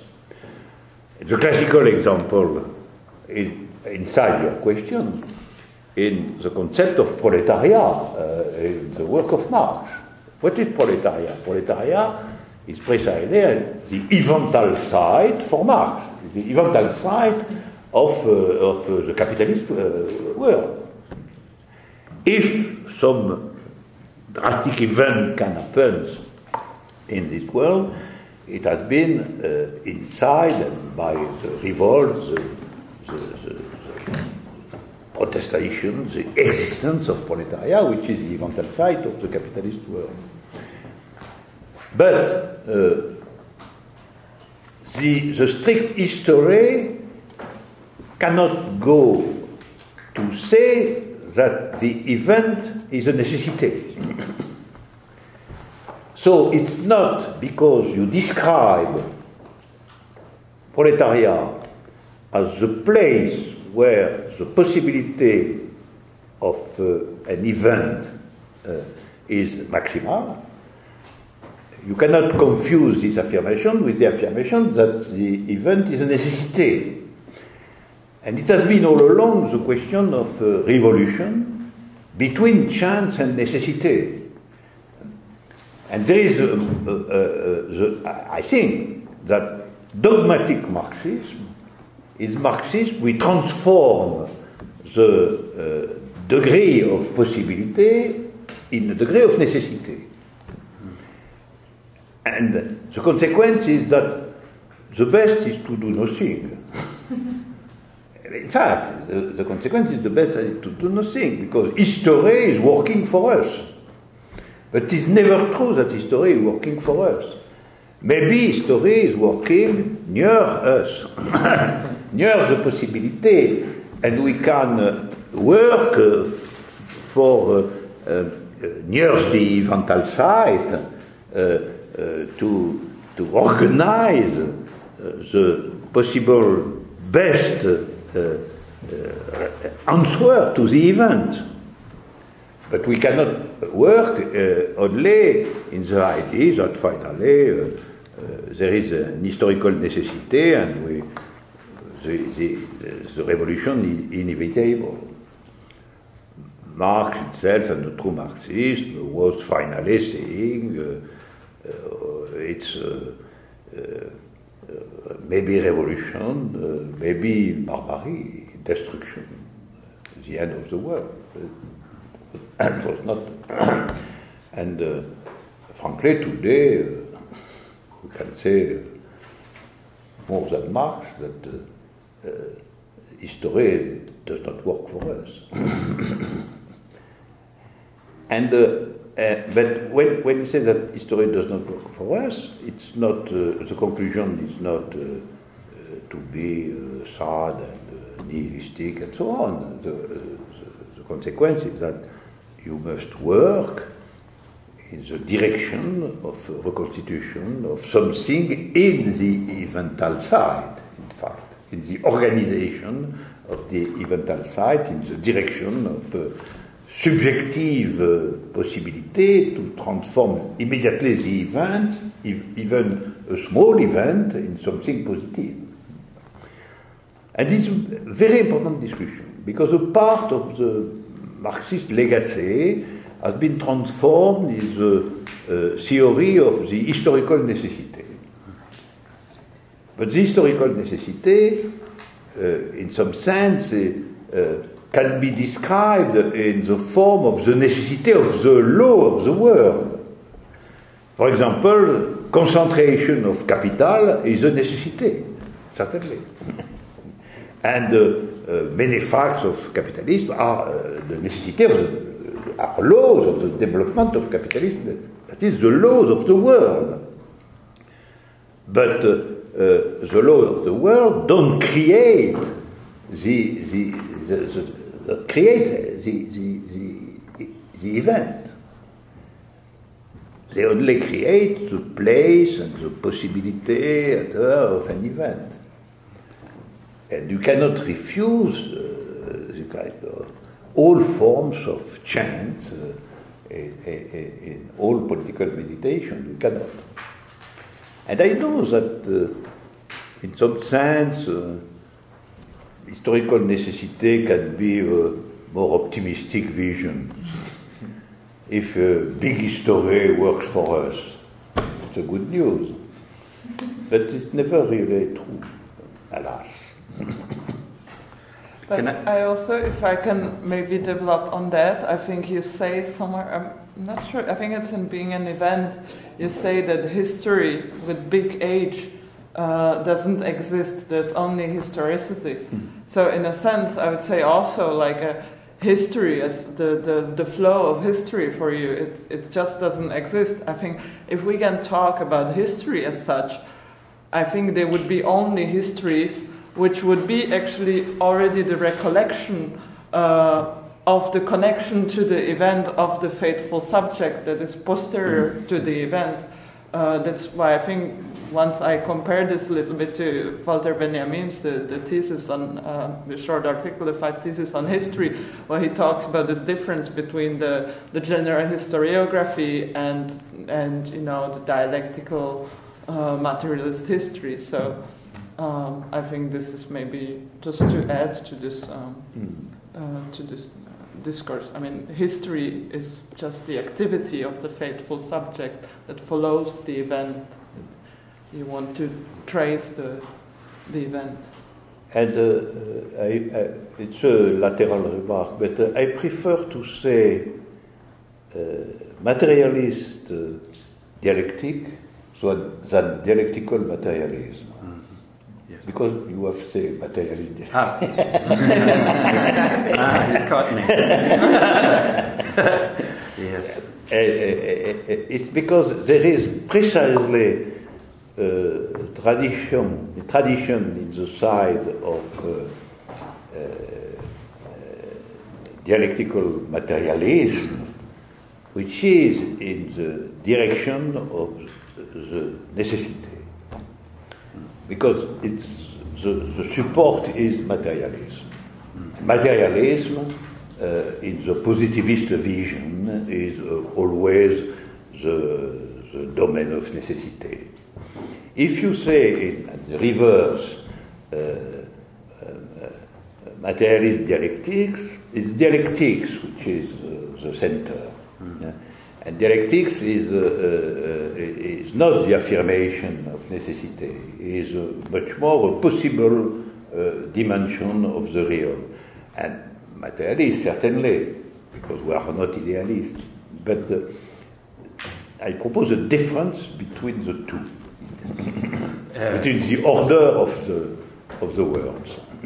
So, can I ask then about also on this discussion the concept of a a monde tendu, mm-hmm. tensed world on 422, because it's, uh, it's, such, a, yes, it, it's such a short section. It's it, a short section. Yes. And, and, and yet it seems so important on the question of a point.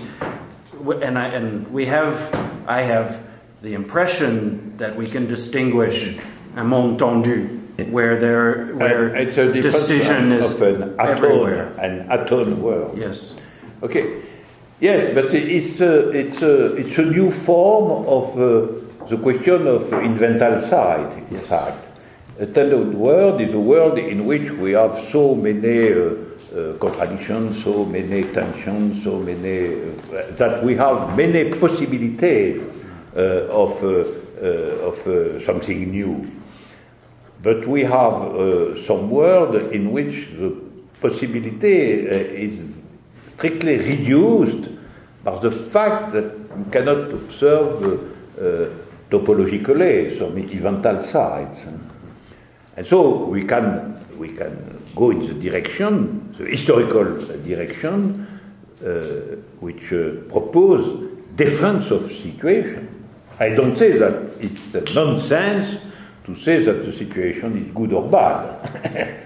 Naturally, it has, it has a signification for example, uh, between, uh, uh, between the analysis of the world as a tensed world or a world atone, atone, atone world.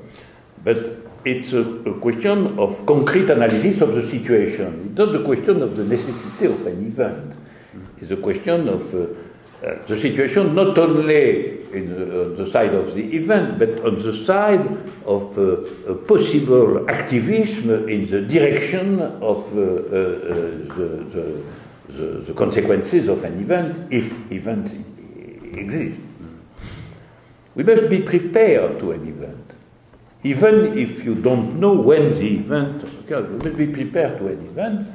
That is, that is the political activity is always to, to be prepared uh, to, to, to an event. And we have some knowledge of the question because precisely we have example of resurrection. So uh, probably an event is also the possibility of a resurrection. But resurrection, we, we, we, we, we know the past. So we, we know the, the, the events. Uh, in the field of politics, in the field of art, okay. But the field of politics is perfectly clear. We return to why, uh, why uh, Rosa Luxemburg uh, uh uses the name of Spartacus. Is really, uh, its goal is to prepare something, finally in the name of Spartacus, that is the resurrection of something, which is certainly completely different, but it's the same thing that to be prepared to an event. But to be prepared to an event is not the same thing that affirms that the event is a necessity. We cannot confuse the two.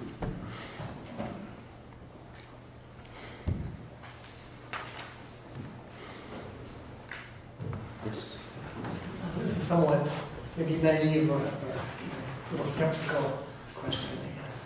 I wanted to ask about the title, Logics of Worlds, about these two plurals here, the logique and the monde. I, the second plural is very evident, worlds, monde, um, I guess what I'm curious about is whether there really are multiple logics. So reading the book, I had the sense sometimes of one logic of multiple worlds. And I guess the suspicion I had is if there were more than one logic, or how can I put this differently, that if um, the truth can be translated across different worlds, it raises the question of whether there's in fact one theory of worlds and therefore ultimately only one world because a truth can be translated across it. So we think we've moved from one world to another, but in fact, the fact that this has happened only attests to the fact that there's not a plurality of worlds, but only one yeah. world. Donc, euh, étant donné le pluriel euh, répété, logique pluriel, monde pluriel, euh, euh, étant donné que il, euh, nous con euh, constatons qu'il est possible de traduire d'un monde à un autre, est-ce que ce fait de cette possibilité n'implique pas qu'à la fin, il n'y a qu'un seul monde? Un seul logique. Et aussi une seule logique.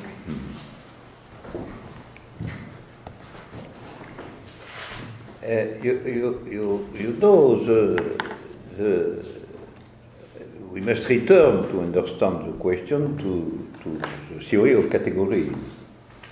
The theory of categories is explicitly the theory of the plurality, possible plurality of logics.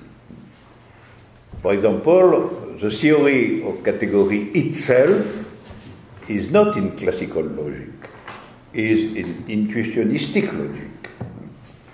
And uh, why? Because if you must speak of plurality of words, we cannot use the principle of excluded uh, middle because we must observe the difference as such.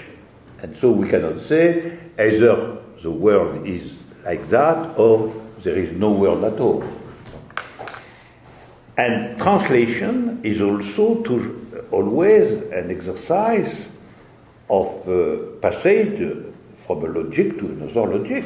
Uh, it's obtained because uh, uh, the, every language is also a form of uh, logic of signification.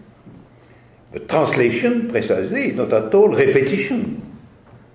Translation is precisely the transformation and the passage from a logic to another logic without repetition of the first logic in the second. Translation is a proof that we can have something universal inside different logics.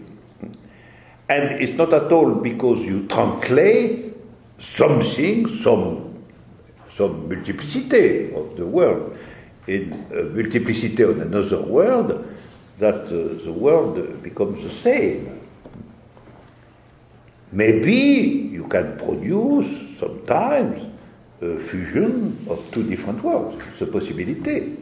It's a possibility among many other possibilities. It's uh, sure that uh, in history we can observe that uh, two countries which were completely different with many languages becomes some parts of Roman Empire where everybody speak Latin. okay, but it's not at all the, the, the, conclusion is not at all that there exists only one world. You know, probably uh, the question of the multiplicity of worlds is absolute. I, uh, my vision but it's an imaginary vision. My vision is that uh, there exists, as in the form of the universe as such, an infinity of different worlds. That one world uh, composed of a galaxy and so on and so on, is only a small part of the big infinity of completely different worlds. So I, there is the, the, the difference are in the infinite. And it is why we cannot think of a total reduction of difference, either the difference of the world or the difference of logics of the world. The multiplicity here is the absolute law of existence.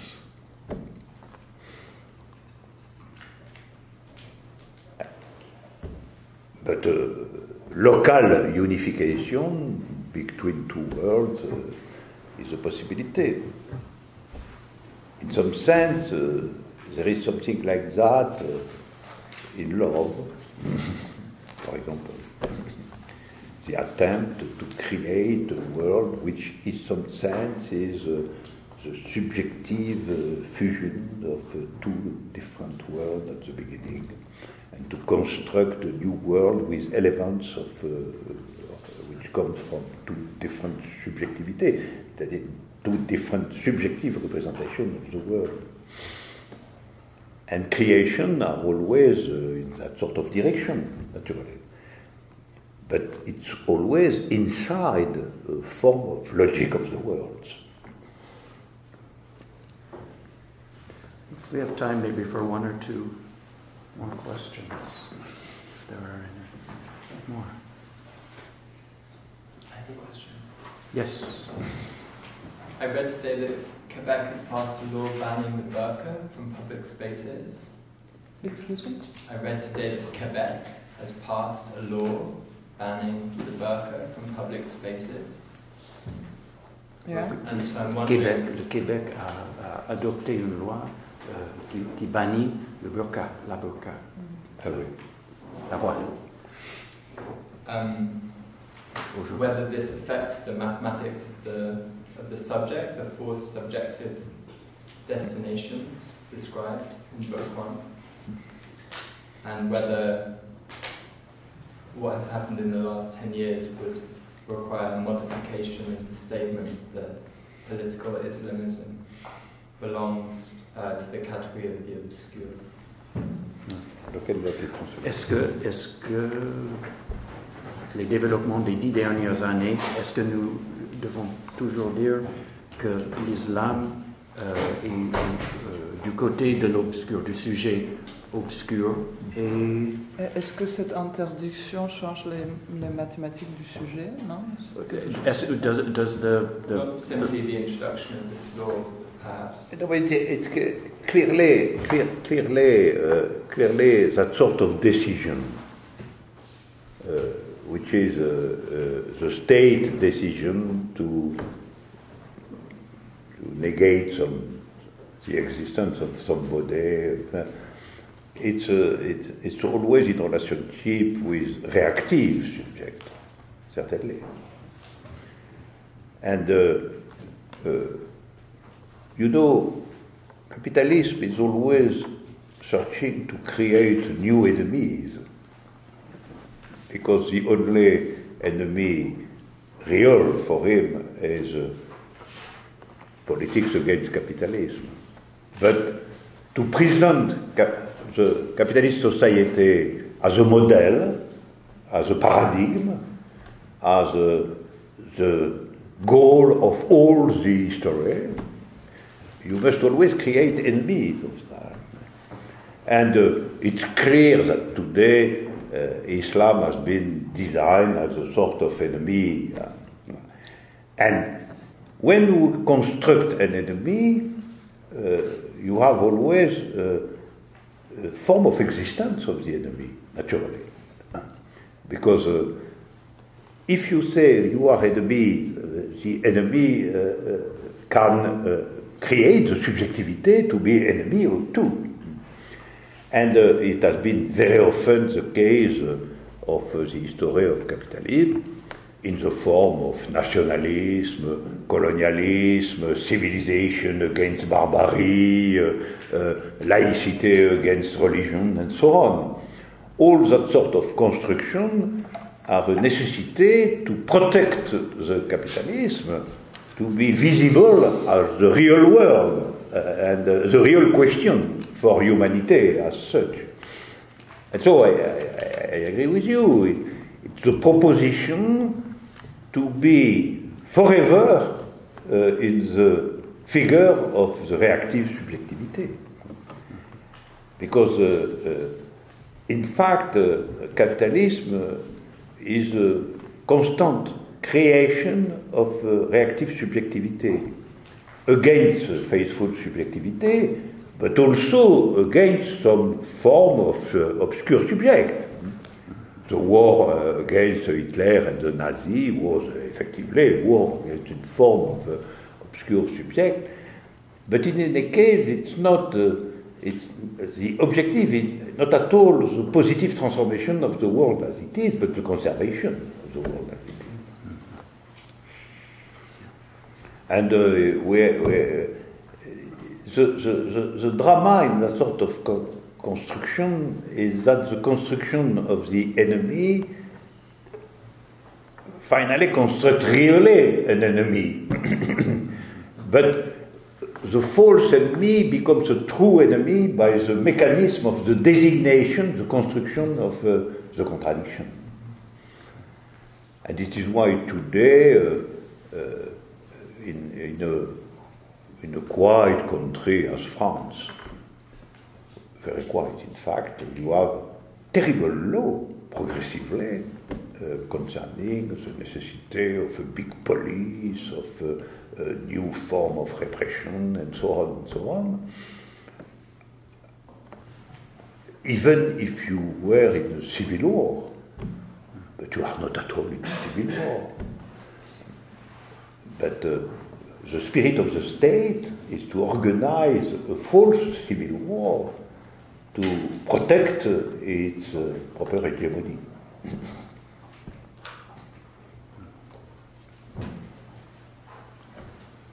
Last question. No last question. No, sorry. I maybe have one. Inexistent, not existent. Not a question. An opening. opening. I was wondering this connect this connection between you know the concept of the subject that appears in Being and Event as one concept, and then the you know there's multiple types of uh, subject that you propose in logics of worlds. Mm-hmm. Uh, it's like the uh, how do how do you elaborate this connection again between the one subject that is but exists as multiplicity of those three types of subject? And do you also elaborate this connection between the two in, in the immanence of truth? Um, uh, I don't know. No? I don't know. In, in, in fact, uh, uh, in immanence of truth, uh, the center is not the question of the subject. Mm question of the subject for me is resolved for the essential in the two first books.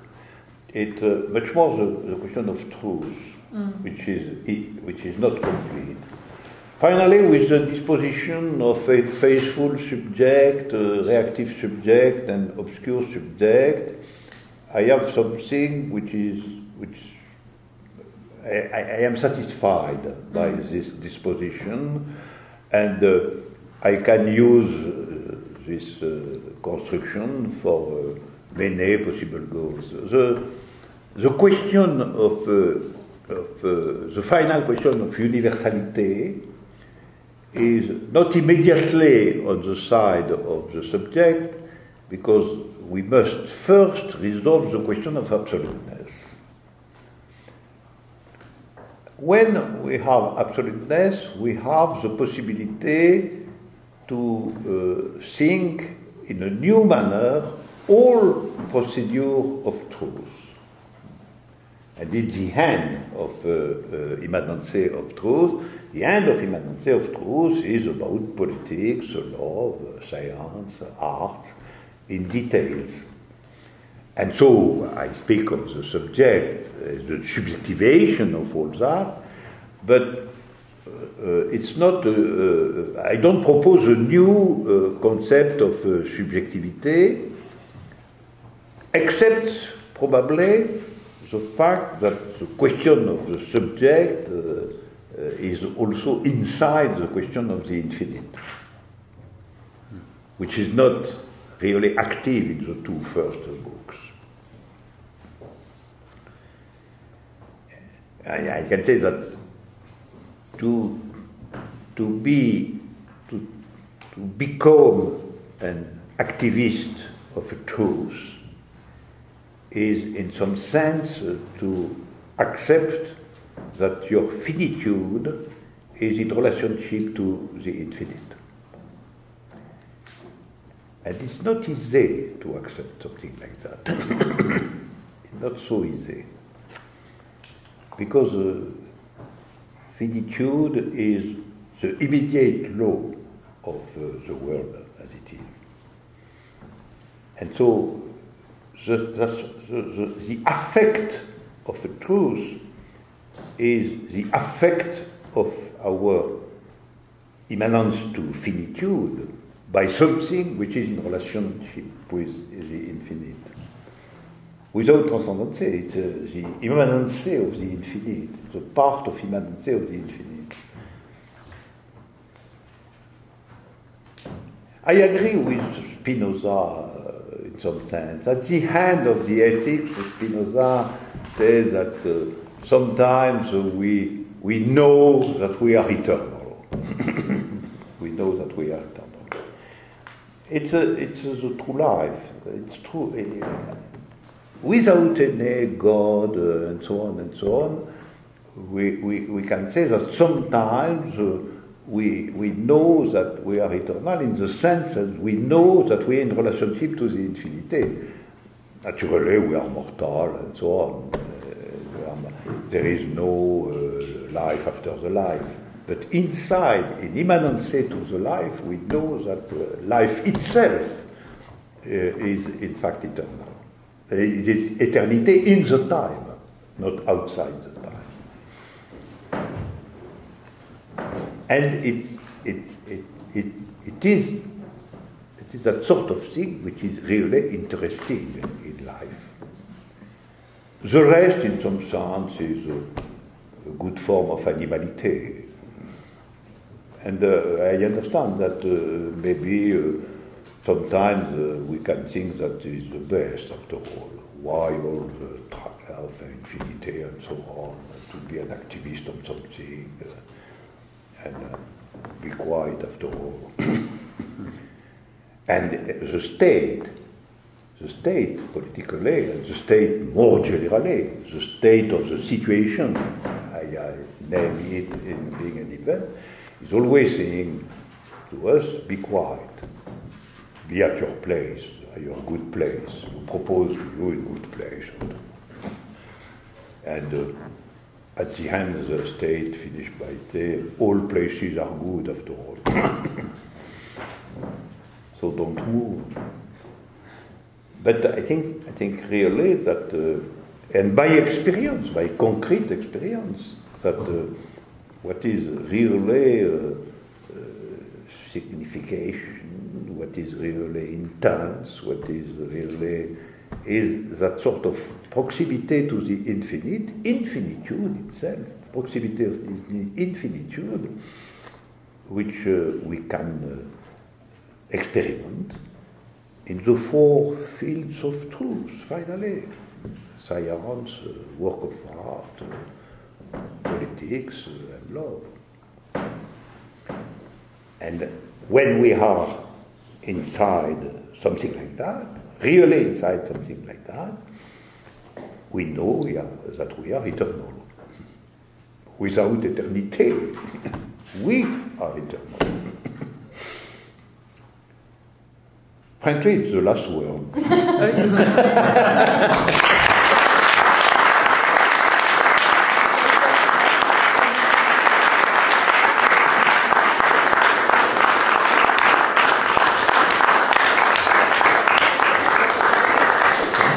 Great. Well, I want to I want to thank everyone. So many of us have come from far away, uh, and just to have such a degree of intensity for three days straight is wonderful.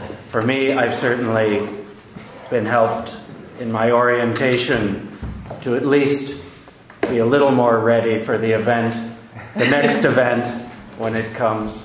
I hope, uh, I hope, I think all of us have, uh, have, have felt that way.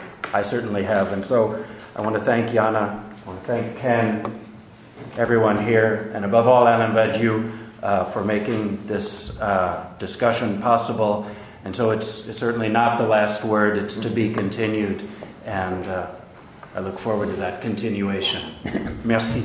Yeah, and I, I, would like to maybe add that uh, um, since we have your emails, thanks to the applications that yes. we ask you to send us, so we'll keep you updated. Um, there will be, uh, I mean, here we have at least an audio recording, but we can send you the links uh, with the video so that you can, you know, sort of hear again what happened. So we'll have video for days. the first two days. We'll have um, audio from today. And in case you were actually interested, I'd like to let you know that we're also planning two more events on the other part of the globe. That's right. so if you have means and time to come, you would be very much welcome. There's um, on the, the 14 and 15 of November, we're doing a symposium on the effect of the events of 68 uh, on the philosophical thought with Jacques Rancière and other philosophers like Patrice Maniglier, uh, Vincent Jacques, uh, Nick will be there. Um, you know, I can send uh,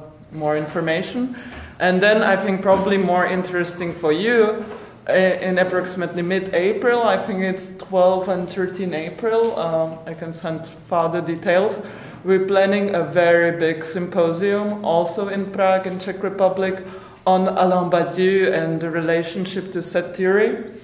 So there will be many mathematicians, uh, you know, prominent philosophers working on Alain Badiou. Alain Badiou, hopefully himself, uh, will will move to Prague too. And so I can send you closer in, more information about that. And uh, you know, if you want to come to the other part of the globe, uh, you would be very much welcome to participate. And, and I, I, would add also for those of us from Princeton, because because uh, we're the French French and Italian department, we're co-sponsoring with the Academy of Sciences in Prague. It would be great if we could uh, help not just uh, me to go over there, but uh, also some some of other Princetonians, and if there are other ways that we could uh, uh, bring any of us into that, uh, that would that would be great. And so so let's let's let's try to do that. And so this, this, these are both going to be with the Academy of Sciences in Prague, and, and we look forward yeah. to that as well. And don't forget that there are three more talks that Badiou will give That's next right. week in New York. So, so, next week, what, what's the schedule for the talks next week? Uh, Do uh, next week, so 20, 20, 26, 20, 25, 26, and uh, 29. Yes. Uh, with, with NYU and uh, Miguel Abreu and uh, elle consulat de France and the, con and, the, et, et Miguel Abreu. and the French consulate. The consulat de France is 29. Uh, no, consulat de France is uh, 26. Ah okay, I didn't know. NIU 25, Consulat de France 26, and uh, uh, Miguel Abreu 29. Ah, okay. okay. Was good. Yes. Okay. Thank you. Thank you. Thanks. Ah, euh, je vais te montrer parce que.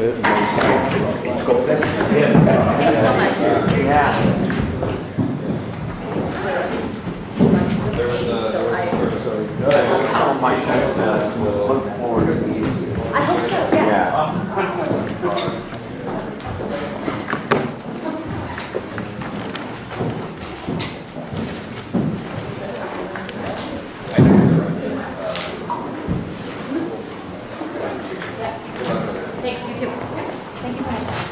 and peanut.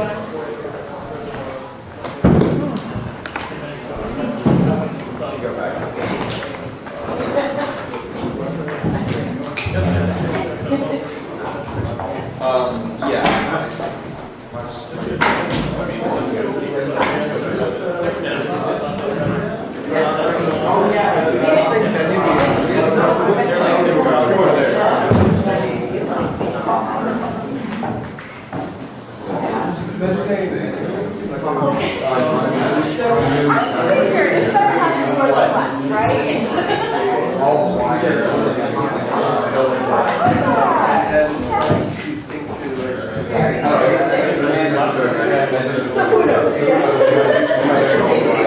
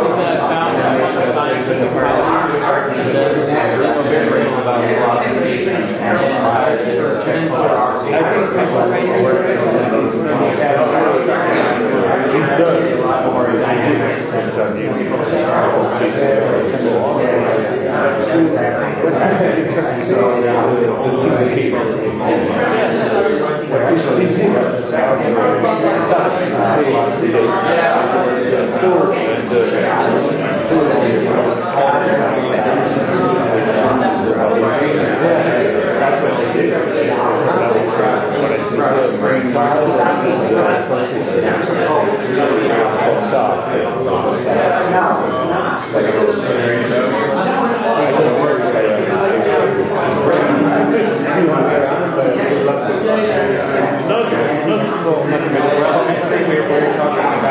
think this year, it's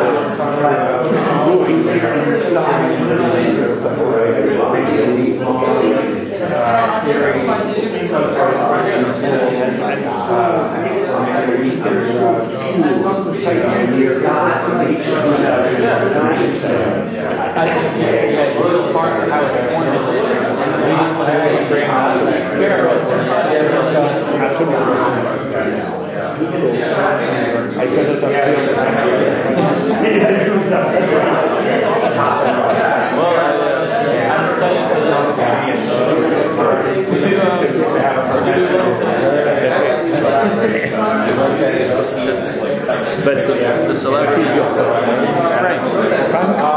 F. Like that. Yes, yes, yes. My grandfather was European Italian. Three types of world just of science fiction or